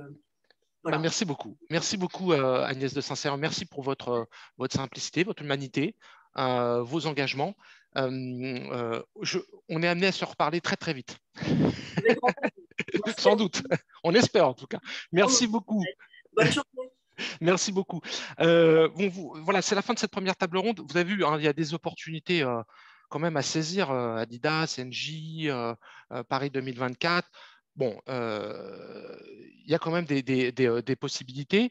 encore faut-il être effectivement bien, bien, bien, bien positionné, parce que bah, pour accéder à l'emploi, il faut souvent se, former, et c'est justement l'objet de cette, de cette deuxième table ronde que, j'ouvre maintenant en quoi la formation professionnelle est-elle une, solution? Quelles sont les politiques de recrutement des entreprises en matière d'inclusion? Quel profil recherchent-elles? Alors, j'insiste sur un point peut-être sur cette table ronde. vous pouvez, vous allez, voilà, il y a des experts qui vont intervenir, hein, qui vont être, qui vont vous apporter des, éléments. ils ne pourront peut-être pas tout vous dire, parce qu'il y a effectivement une limite de, temps, mais vous pouvez vous poser vos questions et donc vous saisir du fil de, discussion pour poser vos questions. Il ne faut pas que vous sortiez de là en, étant voilà, frustré. Hein, si, vous pouvez obtenir une réponse en direct, eh ben moi, je me ferai un plaisir de, solliciter les, intervenants et de leur, de leur, poser vos questions. Alors, voilà, c'est fait. Donc, n'hésitez pas, le fil de discussion est, est ouvert. J'accueille Jean-Philippe Boulineau. Monsieur Boulineau, vous êtes avec nous? Oui, bonjour. Bonjour euh, Jean-Philippe, merci de, nous, euh, merci de nous rejoindre. On a quelques petites minutes de retard, toutes nos excuses. Euh, on va essayer de, maîtriser les temps. Alors Jean-Philippe Boulineau, vous êtes directeur des formations qualifiantes et des métiers au Conseil régional d'Île-de-France. C'est bien ça. Donc, c'est bien ça. Un expert de la formation, de la certification au Conseil régional. première question, est-ce que l'offre de formation, par rapport à tout ce qui a été dit hein, auparavant, est-ce que l'offre de formation de la région Île-de-France permet de répondre dès aujourd'hui, dès aujourd'hui, aux besoins en recrutement des secteurs liés à Paris 2024 Est-ce que si j'ai dans le catalogue de la formation de, la, région des formations qui me permettent de saisir des opportunités? Alors oui, tout à fait. Euh, l'offre de formation actuelle de la région permet d'ores et déjà de répondre aux besoins en compétences euh, euh, des métiers qui vont être mobilisés pour les Jeux olympiques 2024. Donc, euh, c'est des formations professionnelles euh, continues, classiques, avec des périodes en entreprise, et elles permettent d'acquérir les compétences professionnelles qui sont attendues sur les 14 familles de métiers qui ont été identifiées donc, euh, pour les besoins en recrutement. Il y a donc 14 familles de métiers qui ont été identifiées. Tout à fait. Alors, principalement, ce sont. Les passer. Oui, ce sont des, métiers qui sont euh, principalement euh, dans le bâtiment. Hein. Comme Agnès de Saint-Céran euh, vient de le dire, c'est des métiers dont on a besoin tout de suite pour les constructions relatives aux, Jeux olympiques. Mais on a également des métiers dans l'hôtellerie-restauration, dans l'accueil et le tourisme, dans la propreté et la gestion des déchets, dans la sécurité, dans le transport logistique, dans la communication. Donc, toutes ces formations sont actuellement euh, disponibles sur les programmes euh, de la région. Il y a environ 9000 euh, places qui sont réservées, enfin qui sont proposées sur ces métiers et avec qui conduisent à des formations, enfin qui sont des formations qui sont certifiantes hein, pour la quasi-totalité, c'est-à-dire qui conduisent à une certification, à un diplôme reconnu par l'État et par les entreprises du domaine professionnel. C'est tout niveau, euh, tout niveau confondu, c'est-à-dire on peut préparer euh, du CAP au. Alors, ça dépend du métier qui est visé là, euh, des, 14 familles, hein, qui, sont pour certains spécifiquement dans, certains niveaux, mais par exemple, dans la communication, on couvre pas mal de niveaux, dans l'hôtellerie-restauration également, donc il y, a, plusieurs niveaux, que ce soit des premiers niveaux de qualification hein, ou des niveaux un peu plus, un peu plus hauts, niveau bac plus 3, bac plus 4. Alors, euh, ce, jeu des 14 familles, là, euh, donc c'est disponible dès aujourd'hui. Ça permet de couvrir les besoins actuels et les besoins d'avenir, c'est-à-dire que où, ça va s'adapter, à votre avis? Alors, euh, ça permet, comme Agnès de Saint-Céran le disait, de couvrir des besoins actuels, notamment le bâtiment, etc., mais aussi des besoins d'avenir et notamment des métiers qui seront directement liés à l'événement donc, et qui, euh, mobiliseront donc, euh, les, compétences pendant l'événement. Euh, voilà. Et puis l'offre est bien sûr amenée à évoluer, hein, puisque les, 14 familles de métiers qui ont été identifiées sont aussi amenées, à évoluer dans le temps avec l'émergence de, nouveaux besoins de compétences oui. liés au métier des JO. C'est-à-dire que vous anticipez des ajouts, vraisemblablement. Tout à fait, oui, des ajouts ou des spécificités.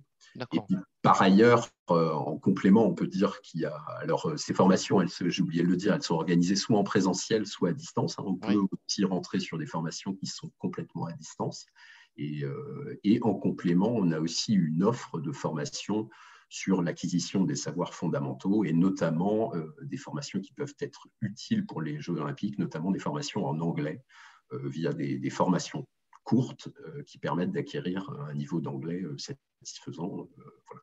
Tout à l'heure, un intervenant parlait, euh, maîtrise de l'anglais, important pour l'accueil euh, des touristes. Hein. Donc, donc voilà, ce qui est important peut-être dans ce que vous dites, c'est ça permet à la fois de répondre aux besoins, aux opportunités maintenant, mais aussi de se préparer. C'est-à-dire que, comme on l'a vu, il y a un phasage. Donc investir dans une formation maintenant, c'est peut-être trouver son emploi. Bah, Tout à fait, demain, au moment, où il sera mobilisé pour les Jeux Olympiques. Exactement. Alors, comment un jeune qui choisit une formation peut-il être aidé dès aujourd'hui par le, la région? Alors, il y a des aides qui sont mises en place. Tout à fait. Alors déjà, la, formation est 100% gratuite, hein. il n'y a, rien à débourser, mais en plus du fait que la région puisse offrir cette formation gratuite, les, jeunes ou les moins jeunes d'ailleurs, qui n'ont pas de ressources ou d'indemnisation, par exemple, de Pôle emploi, peuvent être rémunérés par la région euh, donc euh, pour un montant qui peut aller jusqu'à 650 euros par mois. Pendant toute la durée de la formation. 650 euros par mois pendant toute la durée au maximum, hein, au, maximum. Parce qu'il est calculé en fonction de, de, certains critères, mais ça peut être 650 euros par mois.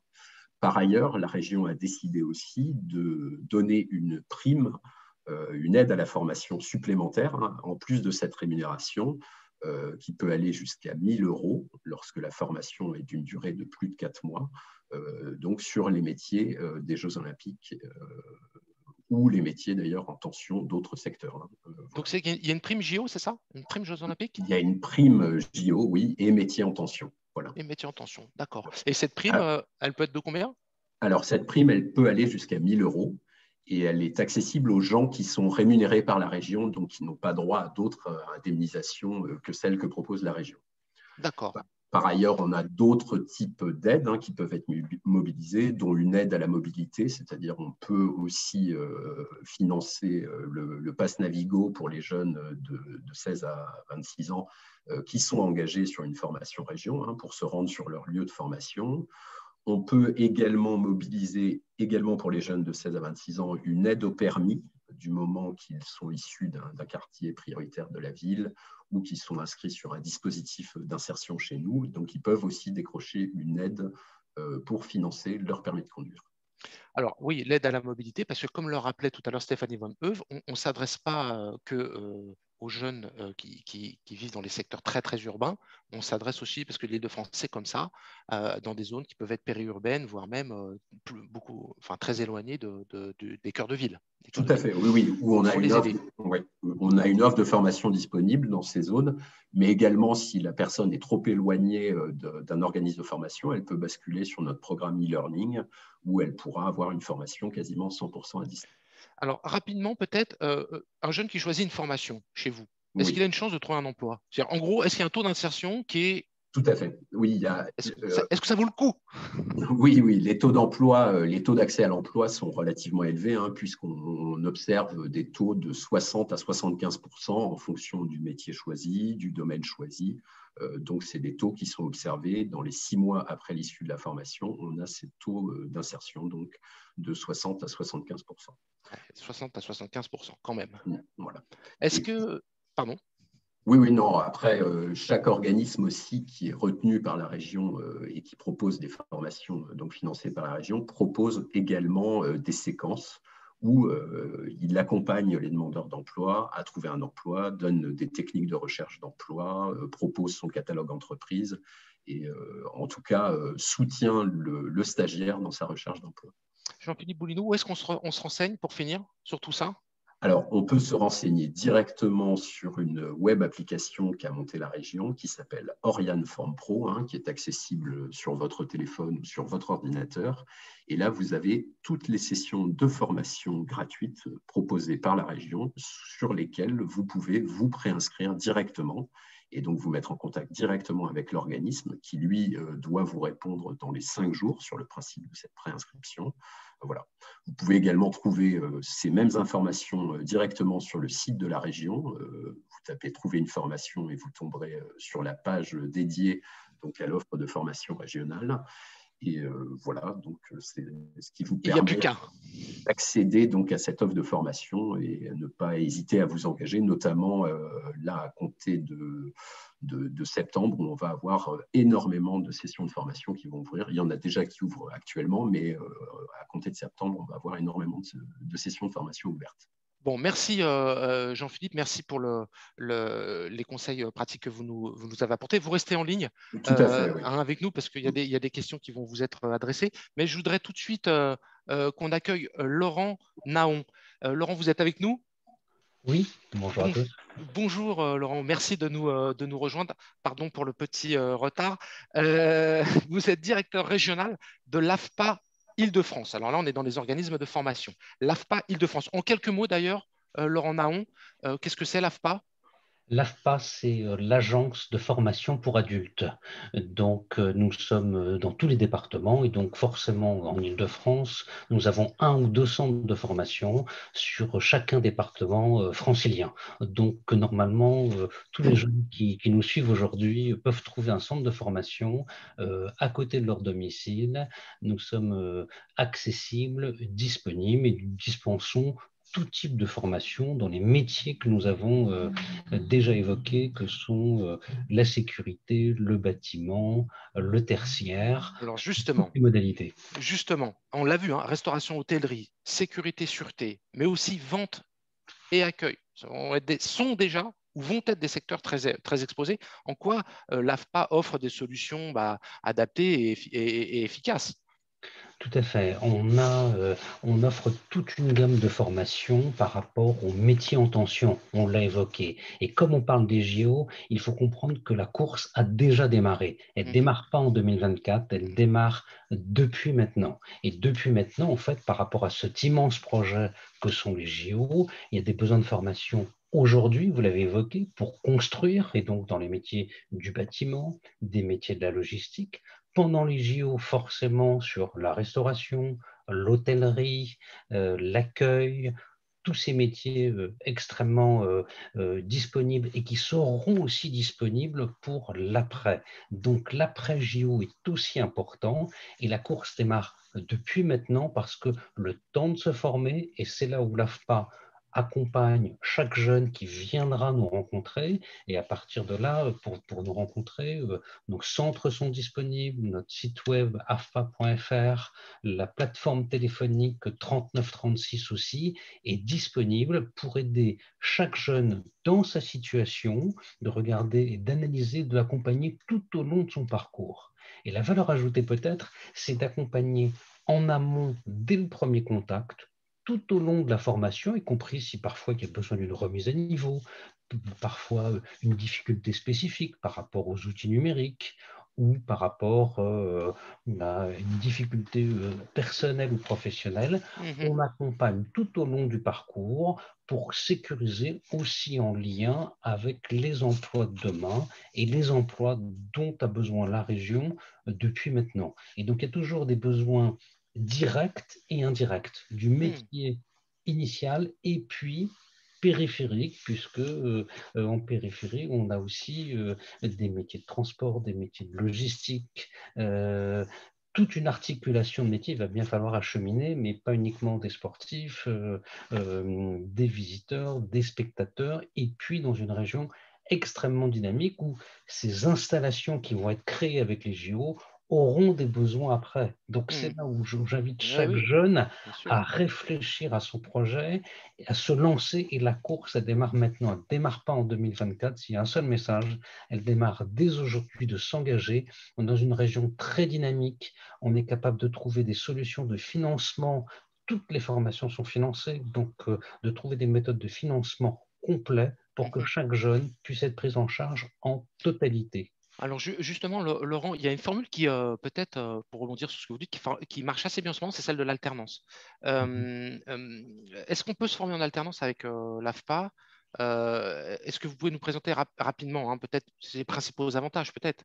L'alternance, c'est qu'à partir d'un projet, c'est-à-dire par exemple, je vais être cuisinier, eh bien, on met en contact le, jeune aussi avec des entreprises qui recherchent des cuisiniers. Et donc, on rentre dans un cycle de formation qui est financé directement et sur lequel le stagiaire, donc le jeune, est rémunéré par l'entreprise.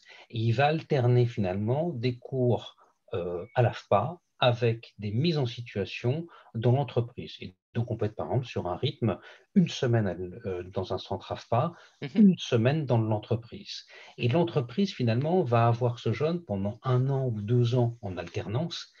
Et donc, très souvent et très fréquemment, ça débouche derrière, et c'est l'intérêt de l'entreprise aussi, débouche sur un CDD ou un CDI. Donc, on rentre directement, pas uniquement sur la partie théorique, mais sur la partie pratique et concrète. Et on est payé et on est payé par l'entreprise aussi dans la période d'alternance. Et le coût de la formation est pris en charge. Alors, pour monter ces opérations, on a actuellement euh, euh, des postes disponibles. Hein. On a aussi des postes qui sont offerts aujourd'hui sur notre site, hein, sur afpa.fr. On a des postes justement de, avec la Poste, avec L'Oréal, sur la logistique, sur des préparateurs de commandes. Mmh. Donc, on a différents métiers qui sont ouverts en fonction du projet du jeune. Donc, si le jeune euh, si, euh, est dans l'incertitude, eh bien, on va l'aider avec lui à, mettre à plat et trouver la voie qu'il souhaite et qu'il souhaite prendre. Et, dans tout ce qu'on a entendu, il faut qu'on lève ces barrières euh, que l'on croit à ses objectifs, parce qu'un sportif, quand il se lance, il démarre de zéro. Il y a un jour, il a démarré de zéro. Et c'est un jour qui va arriver jusqu'à une médaille olympique, ou en tout cas son objectif professionnel. Et donc cet objectif professionnel, cet objectif, enfin ce rêve, il est atteignable. On a tous les systèmes qui permettent de... Et donc l'alternance, en l'occurrence, est un excellent système pour intégrer le métier que l'on souhaite. Et c'est une première porte qui pourra déboucher ensuite sur d'autres portes. Et à la fin en particulier, on travaille énormément la transmission du geste, donc on est beaucoup dans des mises en situation pratiques afin de passer le maximum de temps sur des plateaux techniques de préparation, donc des cuisines en l'occurrence, sur cet exemple-là, plutôt que sur l'aspect théorie. D'accord. Merci euh, euh, Laurent Naon. On a bien compris qu'avec l'AFPA, il y avait quasiment un accompagnement euh, sur mesure. Quoi, hein. que même, voilà, même si on a des doutes, on peut pousser votre porte. si on est intéressé par l'information, il y aura toujours visiblement une solution. Tout à fait. On essaie toujours de trouver une solution. Bon, très bien. Merci Laurent Naon. Vous restez, vous restez avec nous pour éventuellement quelques questions, mais je voudrais qu'on accueille maintenant. Alors, on, tourne le volet peut-être formation, plus pour recrutement. Euh, là, on va être vraiment dans le, dans le, dans le, dans le recrutement pur. Euh, je voudrais qu'on accueille euh, tous ensemble Fiona Murugan. Est-ce que Fiona est avec nous? Bonjour Eric. Bonjour, bonjour, Fiona. Merci de nous rejoindre. Merci beaucoup. Alors, Fiona Murugan, vous êtes responsable recrutement chez Adidas France. On a entendu tout à l'heure le, le, directeur général. Alors, là, on, est moins dans la formation, on est plus dans le recrutement, hein, maintenant. Hein. Euh, une politique de recrutement, on a un peu euh, évoqué le sujet tout à l'heure avec Mathieu, mais je voudrais qu'on rentre peut-être un peu plus dans le détail. Euh, une politique de recrutement inclusive qui fait sa place à tous les jeunes, à tous les talents, quels qu'ils soient. ça veut dire quoi concrètement pour une recruteuse comme vous? Aujourd'hui, Mathieu l'a dit, hein, la diversité, en fait, c'est un fait et l'inclusion, c'est un choix. Donc, Adidas, on va dire qu'on considère que le secret d'une équipe performante, c'est vraiment la, complémentarité, la richesse euh, des différents parcours et vraiment la diversité des profils, celle des, candidats qui apportent vraiment cette valeur ajoutée pour créer cette équipe performante. Donc pour nous, une politique de recrutement inclusive, ça signifie tout simplement que notre but, c'est d'offrir la, possibilité au maximum de, candidats, de talents, d'horizons vraiment différents, de, postuler et d'accéder à nos offres en proposant, on va dire, deux initiatives majeures en recrutement la première, ça va résider dans des campagnes de recrutement sans CV. Et la seconde, Mathieu l'a évoqué avant, c'est ce qu'on va appeler euh, le blind CV. Hein. donc, c'est plus en fait à l'aveugle, tout simplement, des CV, euh, enfin des candidats sélectionnés au, manager recruteur. Et donc, un point commun en fait sur ces deux initiatives, c'est que les candidats en fait, ils vont remplacer leur CV par un entretien euh, vidéo différé. D'accord recruteur, en fait, Adidas va euh, tout simplement préenregistrer une série de 5 à 8 questions et euh, le candidat va nous voir apparaître à l'écran pour répondre à, ces questions. Et cette vidéo, euh, on part du principe qu'elle va permettre de réduire toute forme de billet qu'on pourrait avoir à la lecture d'un CV. Donc, un billet qu'un recruteur pourrait avoir sur le lieu de résidence, sur la formation, sur l'âge du candidat, sur une vidéo, ça n'apparaît pas puisqu'on va se focaliser en fait sur des questions vraiment euh, autour des soft skills euh, des candidats, donc autour vraiment de ces compétences comportementales, relationnelles et, humaines. D'accord. Adidas, on, va vraiment chercher euh, des personnalités et des profils qui sauront incarner en fait nos trois C, hein, donc autour de la confiance, de la créativité et de la collaboration on va y revenir. Alors, vous, vous oubliez, enfin, vous oubliez, vous tournez la page du CV. Hein. Vous, faites, faites, euh, place à, ces expériences-là, le blind et le. Et le, et le la campagne de recrutement sans CV. Sans CV, voilà, très bien. Alors, euh, ceci étant, euh, il y a quand même des besoins de recrutement, c'est-à-dire que vous recrutez. Alors, aujourd'hui, très concrètement, vous recrutez, vous avez des besoins, pour dire les choses. On a des besoins. D'ailleurs, vous participez au job dating qui va suivre ce, voilà, cette, ce, ce, webinaire. quel profil de candidat vous cherchez dans l'immédiat? Dans l'immédiat, quel type de poste? Alors, on a un vrai focus aujourd'hui sur les métiers du retail, donc les métiers en magasin, en raison de notre plan de, développement, notre plan d'expansion, puisqu'on va ouvrir d'ici cet été cinq nouveaux magasins avec euh, deux magasins, on va dire, Île-de-France ou à proximité, hein, euh, à Creil et, à Gonesse. Donc aujourd'hui, ce qu'on va rechercher concrètement, c'est des ambassadeurs hein, de, notre marque euh, sur le terrain, des personnes qui ont sens du, service proactif, rigoureux, organisé, ou alors des meneurs de jeu, si c'est des profils de managers. Donc, pour des postes de vendeurs polyvalents ou confirmés, des postes de stockistes, de responsables de rayon, de responsables stock, de visuel merchandiser, ou encore, euh, on a lancé euh, très récemment une campagne pour une vingtaine d'alternances sur nos magasins en France. Mhm. En France, on est spécifiquement sur les magasins des Champs-Élysées, la Défense, du Marais, Opéra, Creil, Gonesse, Clé-Souilly ou encore Clé-sous-Bois. Très bien. Euh, c'est très précis. Est-ce que vous pensez que ces besoins, peut-être pour, pour, pour, compléter et terminer là-dessus, peut-être que ces besoins vont évoluer avec le, le temps Est-ce que vous pensez que ça va augmenter ou, euh, Alors aujourd'hui, comment vous voyez les prochaines années? Oui, on est clairement justement sur euh, ce plan de développement de notre réseau retail, notre réseau de magasins, hein, pour être euh, toujours au, plus proche de, nos collaborateurs, euh, de, nos euh, consommateurs. Pardon. Et donc, notre objectif, c'est vraiment d'intensifier ces recrutements en magasin. Mhm. Donc, c'est pour cela qu'aujourd'hui, on, a pu aussi créer cette opportunité pour l'alternance et pour pouvoir justement recruter des jeunes et leur donner la chance de représenter nos, nos couleurs, de représenter nos valeurs au sein de nos points de vente. Donc, le retail. Le compris. Exactement. faut miser sur le retail. Exactement. Euh, Fiona, vous êtes une, vous, alors une spécialiste aussi du, recrutement, euh, euh, dont vous avez l'habitude de, de, voilà, peut-être d'accueillir des candidats, etc. Quel, quel, et des candidates. Quel, quel, conseil vous leur donneriez pour entrer chez, chez, chez Adidas? Qu'est-ce qu'il faut? Vous avez parlé des, des 3 C. Qu'est-ce que qu'est-ce que c'est? Alors, les 3 C aujourd'hui, ce sont, on va dire, nos, nos trois comportements, nos trois attitudes clés qu'on veut retrouver chez tous nos collaborateurs et, nos futurs collaborateurs. Concrètement, on recherche des profils qui vont être ouverts à la nouveauté, euh, des profils euh, dans la proactivité, qui challenge l'existant, qui sont collaboratifs, qui ont un fort esprit d'équipe, mais surtout, derrière la confiance, on va mettre des personnes qui osent, qui testent, qui ont échoué, qui ont expérimenté l'échec, qui ont des difficultés, des erreurs, mais qui ont su rebondir les meilleurs candidats sont ceux qui vont arriver à parler de leurs forces, mais surtout de leurs axes de progrès, qui, sont, euh, qui, nous montrent hein, comment ils mettent des actions concrètes, ce qu'ils entreprennent derrière en fait pour s'améliorer. En fait. D'accord, bien. Donc confiance, créativité et Collaboration. Et collaboration. Bon, merci euh, Fiona. Vous restez quelques minutes euh, avec nous parce qu'il y a, euh, il y a quelques questions qui sont, qui sont posées. mais je vais commencer, excusez-moi, mais je vais commencer par poser une question pour Laurent. Laurent Naon, qui j'espère est toujours avec nous. Vous êtes toujours là, Laurent? Oui. alors Laurent, question de Divin. bonjour. Concernant l'alternance à l'AFPA, si nous avons déjà une école, est-ce que c'est encore possible d'être aidé euh, a priori, oui. Après, chaque, euh, il faut qu'il se renseigne normalement directement avec son école et sa situation. Voilà. Euh, a, priori, oui, mais, mais à voir dans quel dispositif, en fonction de, son profil, comment on peut l'aider. rappelons qu'avec Laurent Naon, il y a toujours des solutions à l'AFPA. Donc, il ne faut pas hésiter à contacter l'AFPA. Une question pour Fiona. Euh, Fiona, vous êtes euh, toujours en ligne. Une, une, question de Guillemette. Euh, alors, Guillemette vous pose cette question, cette question. Des opportunités d'emploi sur les fonctions support en stage, en alternance et pour les jeunes diplômés. Chez Adidas, est-ce que c'est possible?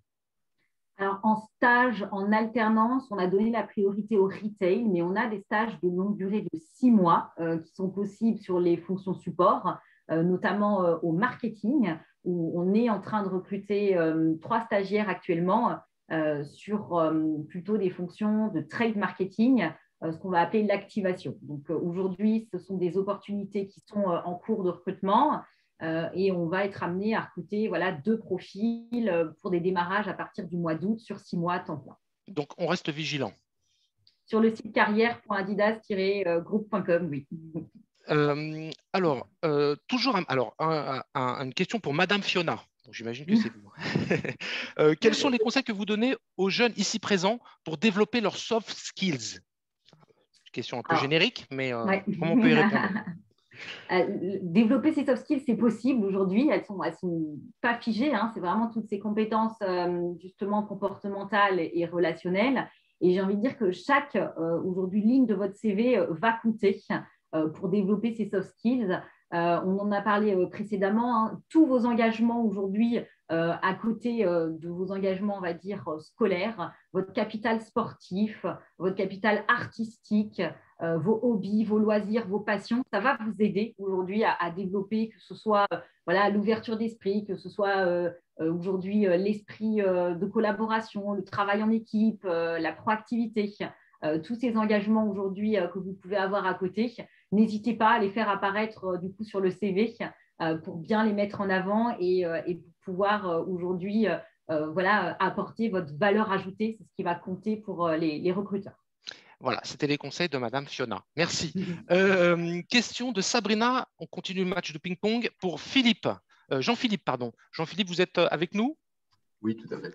Alors, donc c'est Sabrina qui s'adresse à vous. Bonjour. Quelles formations vont, être mises en place par la région pour anticiper les emplois dont on a parlé? Mhm. Je pense au métier particulier de la sécurité, notamment, mais bien, bien d'autres aussi dans l'hôtellerie et la restauration. Et là, il y, a de quoi faire chez vous. Ah oui, oui, il y a énormément de, formations hein. sur l'hôtellerie-restauration. Ça passe de la cuisine au service en salle. Euh, c'est aussi des, métiers euh, qui sont liés à, l'accueil et la réception en hôtellerie, mais également des métiers de, service d'étage. Donc, euh, il y a énormément, l'offre est très bien couverte, hein, notamment par l'AFPA également, qui, est, qui, est, présente ici, sur, sur ces domaines. voilà. Et sur la sécurité, on est aussi sur des petites certifications qui sont reconnues par l'État en matière de sécurité privée, mais aussi des formations qui sont liées à la cybersurveillance, à la cybersécurité, etc. Alors, euh, je continue avec euh, vous. Question de Soumia. Mhm. Euh, comment proposer à la région Île-de-France nos offres de formation en langue, notamment l'anglais, quand on a un centre de préparation agréé par le, pour le TOEIC, enfin le TOEIC Cambridge et centre d'examen? Euh, c'est un, organisme, un organisme de, formation euh, spécialisé dans l'anglais. Alors, pour les organismes de formation qui veulent devenir euh, donc, partenaires de la région et être financés par la région, ils doivent concourir sur des marchés publics. On, fait des commandes de formation régulièrement et les organismes de formation se positionnent sur nos marchés pour nous proposer leur offre de formation. Je finis avec vous, Jean-Philippe. Mm. Question de Célia. Bonjour. Mm. nous vous posons une question. Combien de recruteurs, recrutrices pour ces euh, recruteuses, pardon, pour ces métiers? Combien d'entreprises associées? L'enjeu est aussi pour les candidats de trouver des entreprises pour candidater. Merci. Alors, il faut savoir que chaque organisme qui est retenu par la région pour euh, proposer des formations euh, donc au titre de la région a généralement un portefeuille d'entreprises partenaires qui peuvent solliciter et mettre en contact les stagiaires avec ces entreprises. Il y a également, euh, comme le, mentionnait Agnès de Saint-Céran tout à l'heure, une plateforme, un site internet spécifique sur les Jeux olympiques qui va ouvrir hein, prochainement avec l'ensemble des offres d'emploi qui seront disponibles pour les Jeux olympiques, ainsi que l'offre de formation qui apparaîtra. Alors, euh, dernière petite question. Vous parlez des jeunes, c'est primordial. Elle ne vous est pas adressée personnellement, c'est plutôt une prestation générale, mais on va voir si on peut, on peut aider cette, euh, euh, Nina. Vous parlez des jeunes, c'est primordial, mais il y a aussi de nombreux seniors dynamiques qui ont d'expérience aujourd'hui. Est-ce qu'il, y a une place pour eux? Est-ce qu'on peut se former même quand on a... Tout à euh, fait, oui, oui. On peut se former, quel que soit l'âge, hein, sur les dispositifs de formation professionnelle de la région. Il n'y a, pas, a aucun problème. Les seniors sont complètement amenés à, pouvoir se former sur nos dispositifs. Après, il y a des axes politiques, enfin des interventions plus spécifiques sur des jeunes qui n'ont pas d'expérience professionnelle et qui nécessitent d'être un peu poussés au démarrage. Bon, merci. Et j'avais promis la dernière, mais en fait, ce n'était pas tout à fait la dernière, mais elle n'est pas pour vous. Elle est pour Fiona euh, euh, Murugan. Euh, et après, promis, on arrête parce qu'on a, on, a d'autres intervenants aussi et, je n'ai plus de questions. Alors, Fiona Murugan, vous êtes toujours avec nous? Oui, oui, toujours. question très précise. Bonjour, Madame Murugan. Êtes-vous en contact avec des structures d'accompagnement de personnes en situation de handicap On a du coup des partenaires déjà identifiés, oui, pour justement bien recruter également sur les, les, profils RQTH. On a d'ailleurs participé récemment à ce qu'on va appeler les mardis du handicap. Hein. C'est aujourd'hui une initiative dédiée au recrutement de travailleurs en situation de handicap. Donc oui, on, est mais on est toujours à, la recherche des, bons partenaires, comme Mathieu l'a expliqué, hein, pour bien s'entourer et pour continuer notre politique de recrutement justement euh, inclusive. Bon, bien, merci euh, pour cette dernière, euh, merci pour cette dernière réponse.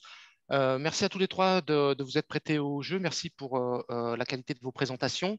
on va passer le relais le relais olympique à l'équipe, à la team suivante, auprès de qui euh, je vais euh, d'abord commencer par m'excuser parce qu'on a un tout petit peu de, retard. Donc, je les remercie une nouvelle fois pour leur, euh, pour leur patience. je vais vous faire découvrir pendant les, dernières minutes qui nous, qui nous restent des, des personnalités voilà, du sport et pas que du sport, euh, mais des personnalités qui ont un trait commun, c'est-à-dire qui ont eu des parcours de vie assez, euh, assez euh, exceptionnels, des parcours sportifs, aujourd'hui des parcours professionnels. Et il y a beaucoup, sans doute, à s'inspirer de, leur, voilà, de, leur, de, ces parcours-là. donc, évidemment, c'est le même principe qu'auparavant. on peut poser ces, ces questions si vous souhaitez aller un petit peu plus loin toujours euh, cette notion d'interactivité. Je voudrais qu'on commence par accueillir Ludivine Munos. Ludivine, vous êtes avec nous? Bonjour, oui. Bonjour, bonjour. Ah, c'est un vrai plaisir de vous retrouver, euh, euh, Ludivine. Merci beaucoup. Ludivine Munos, vous êtes responsable de l'intégration paralympique au sein de Paris 2024. Mais avant de venir à ça, et j'aimerais là vraiment saluer le, parcours, vous êtes aussi l'une des athlètes et nageuses françaises euh, les plus décorées. Tenez-vous bien, on ne va pas y passer la nuit, mais il y a quand même un petit, moment. 12 médailles aux Jeux paralympiques, dont 3 en or. La première à l'âge de 15 ans. 7 euh, en argent, 2 en bronze. Championnat du monde, 6 titres mondiaux. Une médaille d'argent et 5 médailles de bronze j'ai envie de passer sur les chiffres, les, le les championnats d'Europe. Vos 22 titres, hein, bon, hein. bon, chapeau, on a envie de vous dire. Euh, euh, Ludivine, quel est votre, euh, très rapidement, c'est quoi votre meilleur, quand on a tout ça, c'est quoi votre meilleur souvenir sportif? Alors j'adore cette question parce qu'à chaque fois que j'en parle, eh ben, je le revis. Donc mon meilleur moment sportif, c'est vraiment la médaille d'or lors de ma dernière compétition, que sont les Jeux paralympiques d'Athènes, où cette médaille d'or, au-delà de, bah, de, la première place, elle a vraiment été l'accomplissement de tout le travail, de toute la formation, de tout ce que j'ai pu faire pour en arriver là. Et en plus, bah, j'ai fait mon meilleur temps. Euh, c'est 36 secondes 02 au 50 mètres nage libre. Pour moi, ça a une valeur hyper symbolique parce que hum, c'est des années de travail. Euh, et puis on apprend, on apprend beaucoup de choses et on apprend euh, plein de qualités de ce que tous nos formateurs nous accompagnent, nos entraîneurs, nos kinés. Et ben, ce jour-là, 36 secondes pour tout mettre en œuvre. Donc, c'est le plus beau moment et, vraiment ce moment sur le podium où je suis là, je regarde tous ceux qui m'ont accompagné pendant ces années et je suis hyper heureuse. Voilà, donc le plus beau moment, c'est vraiment. On a les années qui défilent dans ces moments-là, derrière, j'imagine? Oui, et on a les émotions vraiment tous les moments, parce que pour une médaille d'or, il y a eu euh, X échecs, euh, X quatrième place et puis X mauvaise performance. Et du coup, forcément, on a ce petit moment euh, où on se remémore tous ces, tous ces moments difficiles et puis tous les, entraînements aussi qui ont à des moments amené quelques douleurs. donc forcément, on, a tout ça en tête, c'est plein d'émotions et on a le cœur qui est rempli. Il est plein, il est prêt à exploser. C'est grandiose. Ludivine, en quoi le sport, ça a été un, un très bon tremplin pour votre vie professionnelle? Je n'en avais pas forcément conscience au moment où j'ai envoyé mes premiers CV euh, pour chercher un emploi, mais en tout cas, ce qui s'est révélé et ce qui a attiré aussi beaucoup de, recruteurs ou d'entreprises, c'est que quand on s'entraîne, on démontre une capacité, une rigueur, une rigueur à l'entraînement qui dure des années, une combativité. Euh, quand on vit des moments difficiles, pour autant, on, remet le maillot de bain dès le lendemain matin et on y retourne et puis euh, forcément une connaissance de soi-même. Quand on passe des épreuves sportives, il faut arriver à identifier qu'est-ce qui marche, qu'est-ce qui ne marche pas, euh, qu'est-ce qu'on a besoin au quotidien pour avancer, pour continuer et pour garder sa foi euh, dans l'événement sportif. Donc, c'est toute cette qualité-là qui, pour moi, sont des vraies valeurs dans l'entreprise, dans les métiers. Et du coup, c'est ce qui a plu aux recruteurs. Donc, ça, vous a servi beaucoup après dans votre vie euh, professionnelle, parce que après, vous êtes devenue directrice des ressources humaines, je crois, d'un grand groupe, d'un grand groupe, c'est ça, non?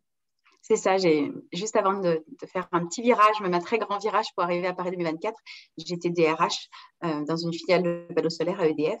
Mhm. Et tout au long de ma carrière et de mes différents postes et même de mes formations, je me suis souvent remémoré euh, des, clés de réussite sportive et typiquement la veille d'un entretien. J'ai vraiment ce souvenir d'être un quart d'heure d'avance à l'entretien et de m'être assise sur ce banc juste avant de rentrer dans le bâtiment parce que je trouve que c'est très mal poli d'arriver trop en avance pour la personne qui vous recrute. Et là, j'ai fait de l'automotivation, j'ai pris quelques minutes pour me concentrer exactement comme j'aurais fait la veille d'une épreuve sportive. Ah oui, Faire de, de l'accompagnement positif, c'est qui je suis, qu'est-ce que j'ai comme soft skill, qu'est-ce que je suis capable d'apporter, comment je sais travailler, exactement ce qu'on fait finalement quand on est à la veille d'une course parce qu'on n'a pas le choix. Ça y est, on est là. Tout ce qu'on a préparé, c'est fini, c'est derrière nous. C'est le mmh. jour J. Mmh. Donc, autant se motiver avec tous les aspects positifs de tout ça et puis essayer de se donner vraiment un grand coup de fouet qui nous permet de réussir à la dernière ligne droite. Euh, vous avez une, double vie, une vie de sportive, une vie de, de, professionnelle. Est-ce que dans cette, voilà, dans cette double vie-là, euh, quelle a été la part de la formation? Euh, Est-ce que c'est quelque chose qui vous a aidé ou est-ce qu'au contraire, vous avez toujours pu vous en passer? Euh, voilà, quel est le, rôle de la formation dans votre, dans votre peut-être parcours sportif et, surtout dans votre reconversion? Dans ma parcours déjà scolaire, c'était super important parce que je suis en situation de handicap, ce qui veut dire que mon handicap m'empêche d'avoir accès à n'importe quel emploi. Euh, je suis une personne qui n'a pas de jambe droite et pas de bras droit, et du coup, j'aurais pas pu être pompier. Je n'aurais pas pu non plus être chirurgien. Et donc, c'est la formation qui m'a accompagnée à construire euh, l'emploi que j'aimais faire demain. Donc, on prend bien sûr ce qu'on aime faire et on, s'oriente vers des formations qui nous permettent d'accéder à des emplois qui sont potentiellement accessibles euh, au vu de, ma déficience physique, mais elle est que physique et elle est compensée par plein de choses qui permettent d'avoir des emplois. Et puis après, tout au long de sa carrière, si on veut pouvoir continuer à avancer, alors on a parlé euh, tout à l'heure des compétences, pas que des jeunes, mais également des personnes euh, qui ont un certain âge et une certaine expérience. Mhm. Et on est obligé au fil des années de se former pour accompagner les évolutions. Euh, aujourd'hui, c'est l'informatique. Et pour moi, par exemple, en arrivant à Paris 2024, ça a été l'anglais.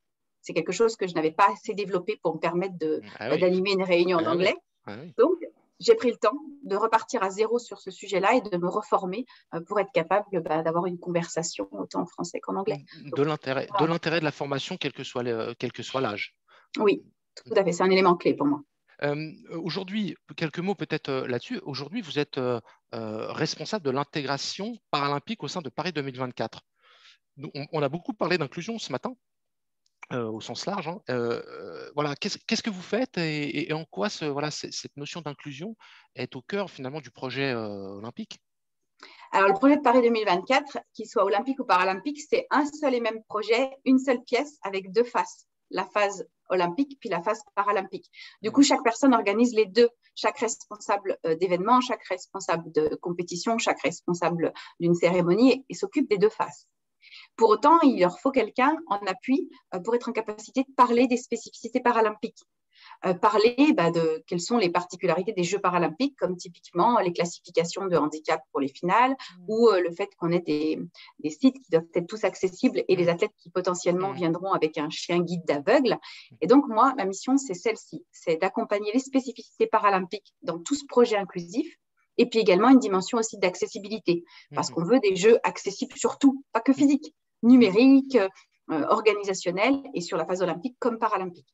D'accord. Donc vous vous occupez de, voilà, de, bien euh, mettre en acte l'intention euh, qui, est, qui est portée, d'intégrer tout le monde.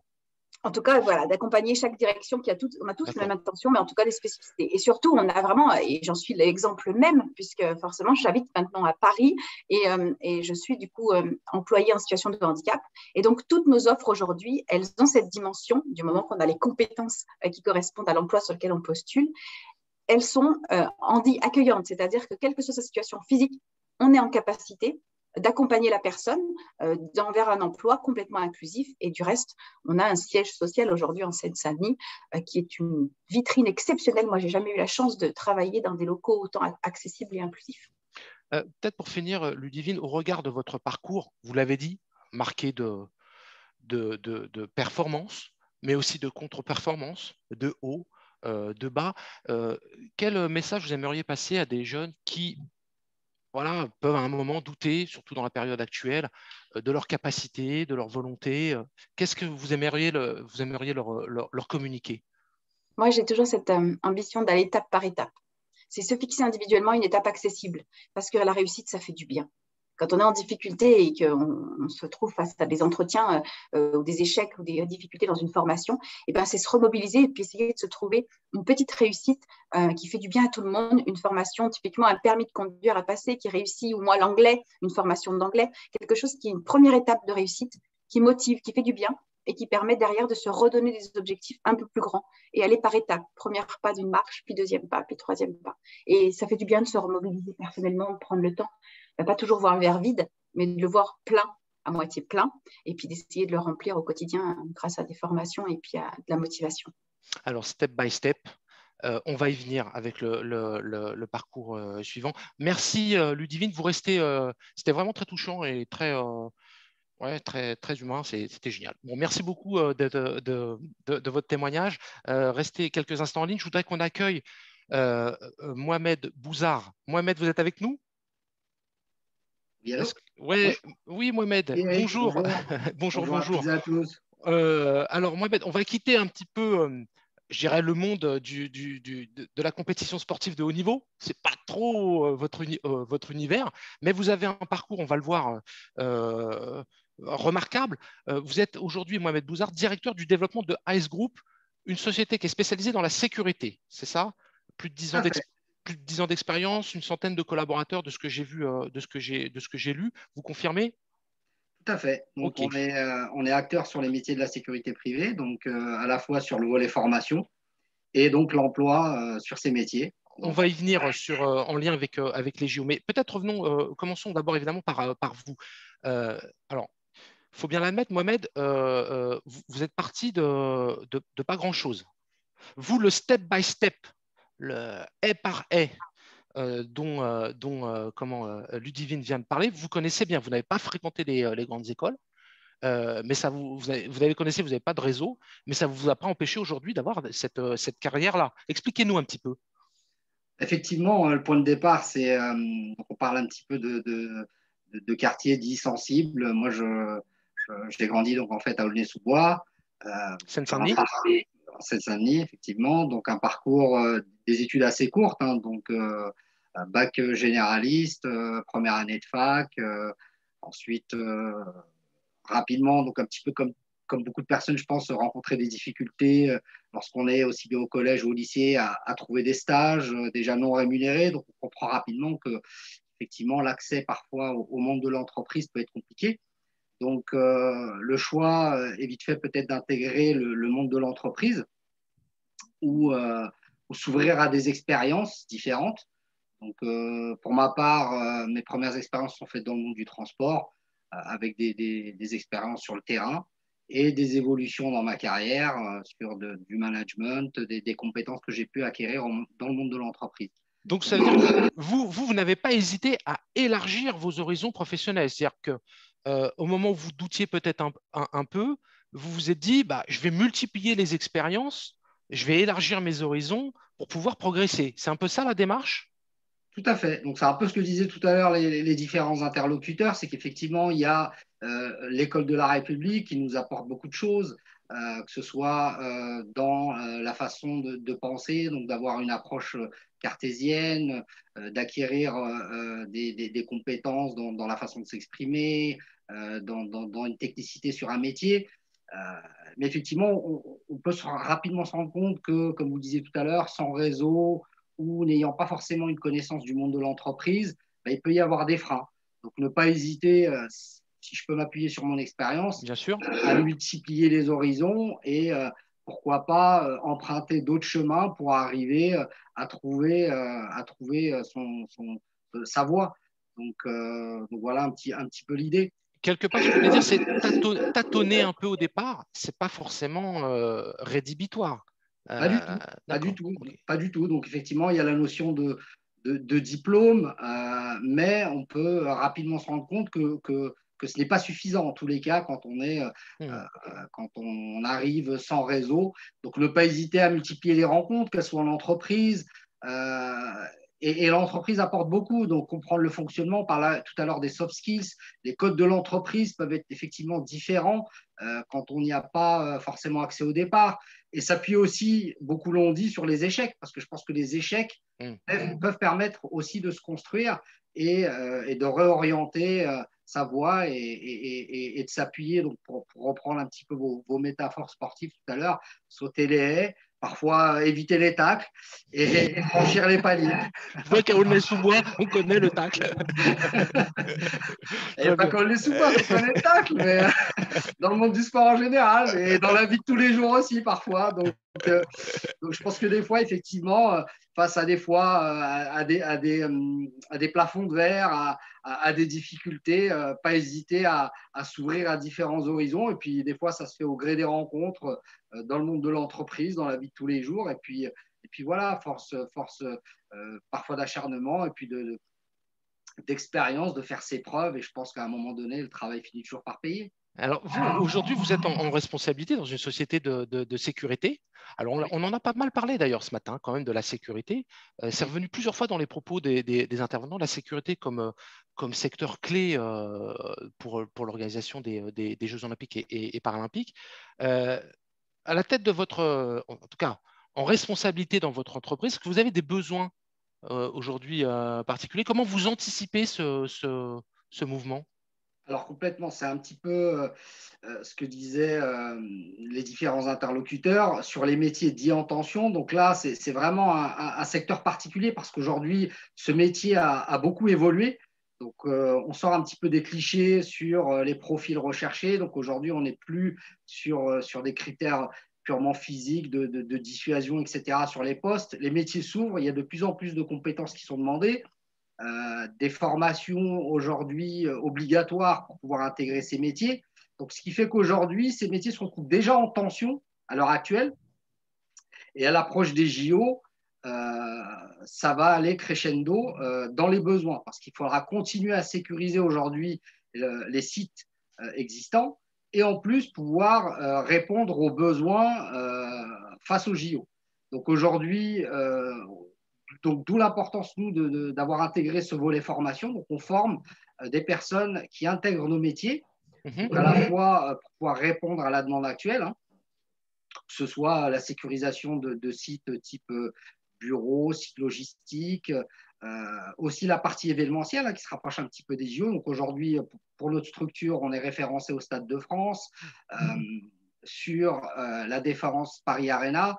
Euh, donc voilà, ce, type de, site qui permet euh, aux, métiers d'évoluer et de, leur donner toute leur importance. Et comment on fait, Mohamed, alors si on est intéressé?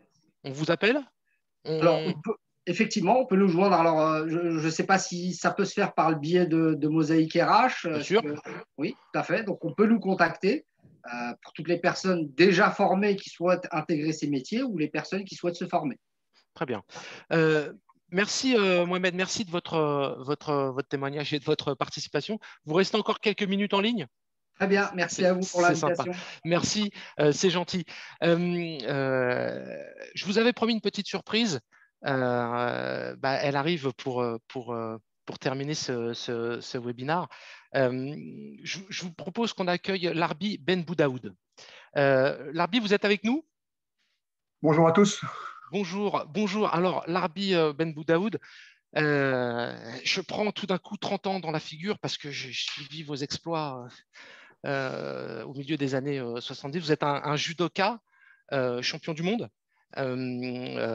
Vous, êtes un fin connaisseur des, Jeux olympiques. vous, êtes, vous avez été entraîneur des équipes de France féminines. Aujourd'hui, vous êtes si je ne m'abuse, directeur de la haute performance à la Fédération française de, judo. C'est bien ça? Exactement. Alors, euh, rapidement, qu'est-ce que c'est votre fonction aujourd'hui, euh, euh, directeur de la haute performance? Alors, c'est une fonction que j'ai prise il y a quelques mois maintenant. J'occupe encore une double casquette parce que je suis toujours responsable de l'équipe de France féminine, mhm. parce qu'on a une belle équipe de France féminine qui, qui ramène euh, ah oui. beaucoup de médailles. Hein. et donc, euh, à quelques mois des Jeux Olympiques, euh, je ne voulais pas mettre voilà, je ne voulais pas perturber cette équipe, donc j'ai gardé cette casquette de responsable des équipes. Donc je reste encore sur le terrain. Mais en janvier, on m'a proposé le poste de directeur de la haute performance. Alors, c'est quoi le poste de directeur de la haute performance? Bah, Ça englobe toutes les équipes de France, c'est-à-dire aussi bien les, les, hommes que les femmes. Mais surtout aussi, ça englobe aussi toute la politique sportive de, haut niveau de la fédération. Donc, ça veut dire toute notre filière d'accès à haut niveau, euh, avec tous les, tous les pôles qu'on a sur. On a, on a la chance d'avoir à la Fédération française de, judo un maillage exceptionnel sur le territoire. Donc voilà, tout, euh, toute cette filière, les pôles espoirs, les pôles France, et euh, tous ceux qui y travaillent seront voilà, sous ma responsabilité. Parce qu'on imagine que les équipes de France de judo pour 2024, elles sont déjà en pleine préparation. Ah. Et puis, on, pour même celle pour 2028, on dort jamais. Ah, d'accord. Je rappelle, euh, euh, l'arbitre Ben Boudaouk, pour bien resituer le, le, le, personnage, que vous êtes originaire de Duny, en Seine-Saint-Denis, euh, que vous avez fait vos premières, vos premières armes, vos premiers, vos premiers hippons ou tout ce que vous voulez euh, dans, le, dans le 93. Alors, ju justement, pour revenir un petit peu bah, sur votre parcours, qui est quand même euh, sportivement euh, exemplaire, j'imagine que vous, avez dû en dépenser des, litres et des litres de, sueur. est-ce que, que j'ai envie de vous poser, est-ce qu'un jour vous avez douté de vous? Alors, j'aime pas trop prendre j'allais dire euh, mon exemple parce que comme, comme le veut bah, le champion, c'est-à-dire qu'il y a, y, a, y a un peu une singularité. Maintenant, je, j'ai eu la chance d'assister depuis le début à tout, euh, tout webinaire et tout, et là, il y a beaucoup de choses auxquelles j'ai adhéré et des propos euh, que, que, que j'ai retrouvés. Et, euh, et effectivement, ce qui est important, ce qui est important, c'est euh, euh, les messages qu'on veut passer. Le doute, euh, non, parce que bah, même si j'en ai eu, je les ai transformés en, en positif. En force. Donc, euh, je vais reprendre juste la, la, la, la phrase de, de, de, Mandela qui disait Je perds jamais. Ou je gagne, ou j'apprends. J'ai toujours été dans cet état d'esprit. Donc après, ça veut dire que bah, s'il y avait des doutes, euh, bah, je, les, je, les, mettais de côté. Ou alors si j'avais subi des échecs à cause des doutes, euh, eh bien la fois d'après, euh, il n'y en avait plus. Voilà. Ouais, donc transformer le doute en force, en force propulsive, en force pour ce. C'est ce que disait peut-être un peu Mohamed, apprendre de ses échecs. Exactement. Se relever. Et d'ailleurs, et d'ailleurs, moi personnellement, j'ai beaucoup plus appris de mes échecs que de mes victoires. Bon, peut-être ah oui. parce que c'est le côté champion aussi, peut-être où j'étais un peu trop je me voyais tout de suite piqué dans mon orgueil, donc il faut qu'il fallait retourner au, au charbon. Ouais.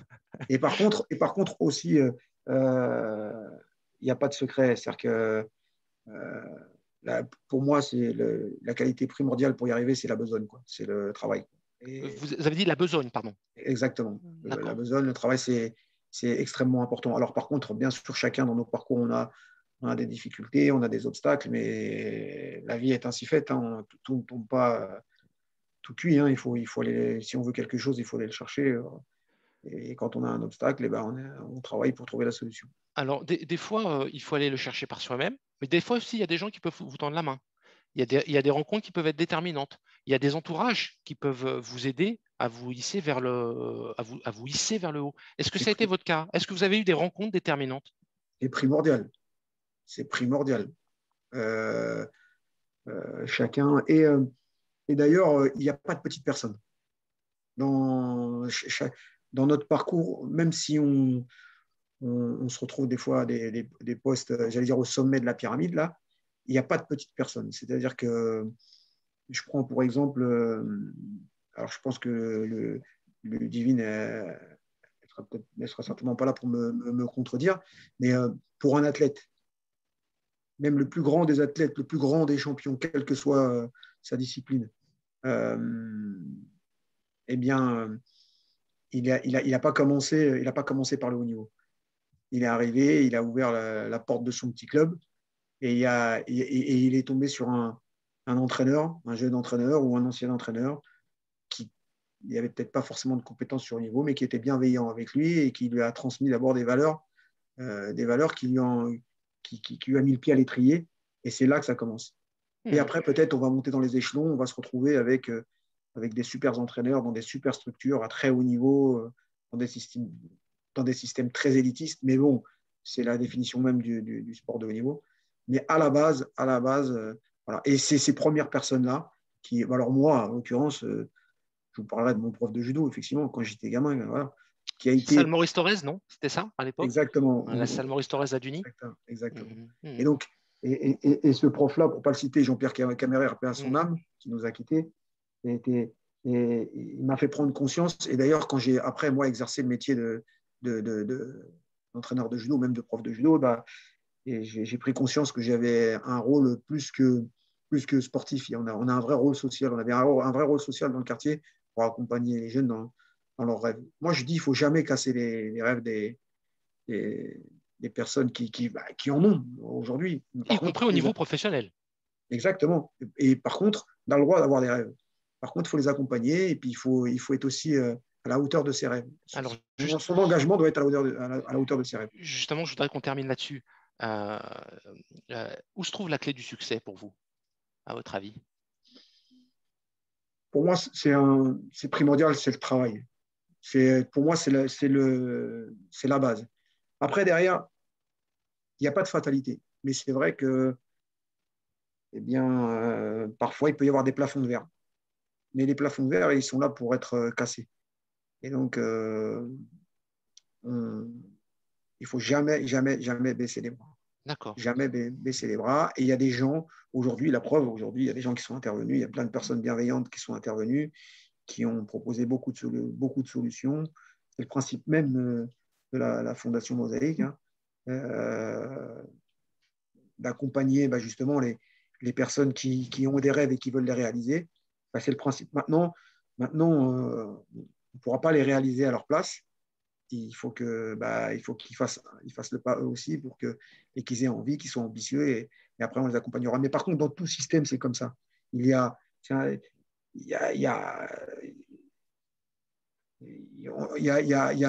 vous êtes 100, il y a 10 postes, et eh ben, ouais, faut se battre pour les avoir, ces postes il y a des gens qui vous accompagnent. Et puis, si ce n'est pas celui-là, c'est la fois d'après. Et, donc, euh, gardez toujours en tête, comme je, me répète, vous perdrez, il ne faut, jamais perdre. On gagne ou on apprend. Merci, euh, Larbi. Je, vais, euh, conclure en citant d'ailleurs une de vos phrases que j'ai retrouvée dans une de vos interviews. La clé du succès se trouve dans l'effort et le travail. Tout n'est que persévérance et discipline. Exactement. Bon, merci. C'était euh, voilà, c'était Larbi Ben Boudaoud que je, je salue euh, une, une, nouvelle fois, que je remercie euh, pour sa présence au en dernière minute, on va dire, mais c'était c'était très utile, c'est super. Peut-être, Mohamed Bouzard, je reprends la parole. Peut-être un message qui vous est adressé euh, sur, les, réseaux, sur le, sur le fil de discussion de la part de Henrique. Monsieur Bouzard, je suis à votre disposition pour travailler avec vous sur vos besoins de recrutement et de formation dans les métiers de la sécurité. Le dispositif de formation d'inclusion par le sport Terre d'emploi pourrait vous intéresser. On s'appelle, on mettra la relation, on fera euh, la rencontre. On a l'habitude à, euh, la Fondation euh, Mosaïque. Voilà. merci. De, il, est, midi, passé de quelques minutes. C'est l'heure de, conclure. On l'a vu. Hein. réussir bah, sa vie professionnelle, on l'a vu, l'arbitre l'a dit, c'est un peu comme pour une grande compétition. On saute les obstacles les uns derrière les autres on s'entoure avec les bons conseils, euh, on se casse la gueule, et bah, des fois, on se, on se relève. Euh, on se forme, on se forme, notamment avec le Conseil régional d'Île-de-France pour être prêt le jour J. Euh, et le jour J va approcher, c'est les, JO, les Jeux Olympiques et Paralympiques de 2024. merci beaucoup de votre présence. Je vais maintenant passer une nouvelle fois le flambeau aux recruteurs et aux candidats pour le job dating en ligne qui va suivre cet après-midi. Euh, merci d'avoir participé. Merci encore aux intervenants de leur engagement, de leur patience. Je vous propose peut-être éventuellement de rallumer toutes vos caméras pour faire une, petite photo de famille. On aime bien ça, la Fondation Mosaïque, les photos de, famille. On est ensemble, on est bienveillant. Ça fait pas de mal dans le monde actuel. Euh, donc, on va faire une, voilà, une petite, une petite euh, photo. J'en profite pendant que la photo est faite pour remercier toutes les équipes de la Fondation Mosaïque, évidemment. Euh, de la région, des associations partenaires qui se sont mobilisées. Vous retrouvez le replay euh, de ce webinaire, le bilan, les moments forts très vite sur nos réseaux sociaux. On va faire le plus vite possible et sur notre site internet. Photo, c'est bon. Merci. Rendez-vous au prochain meet-up, surtout. Soyez présents et à bientôt. Au revoir.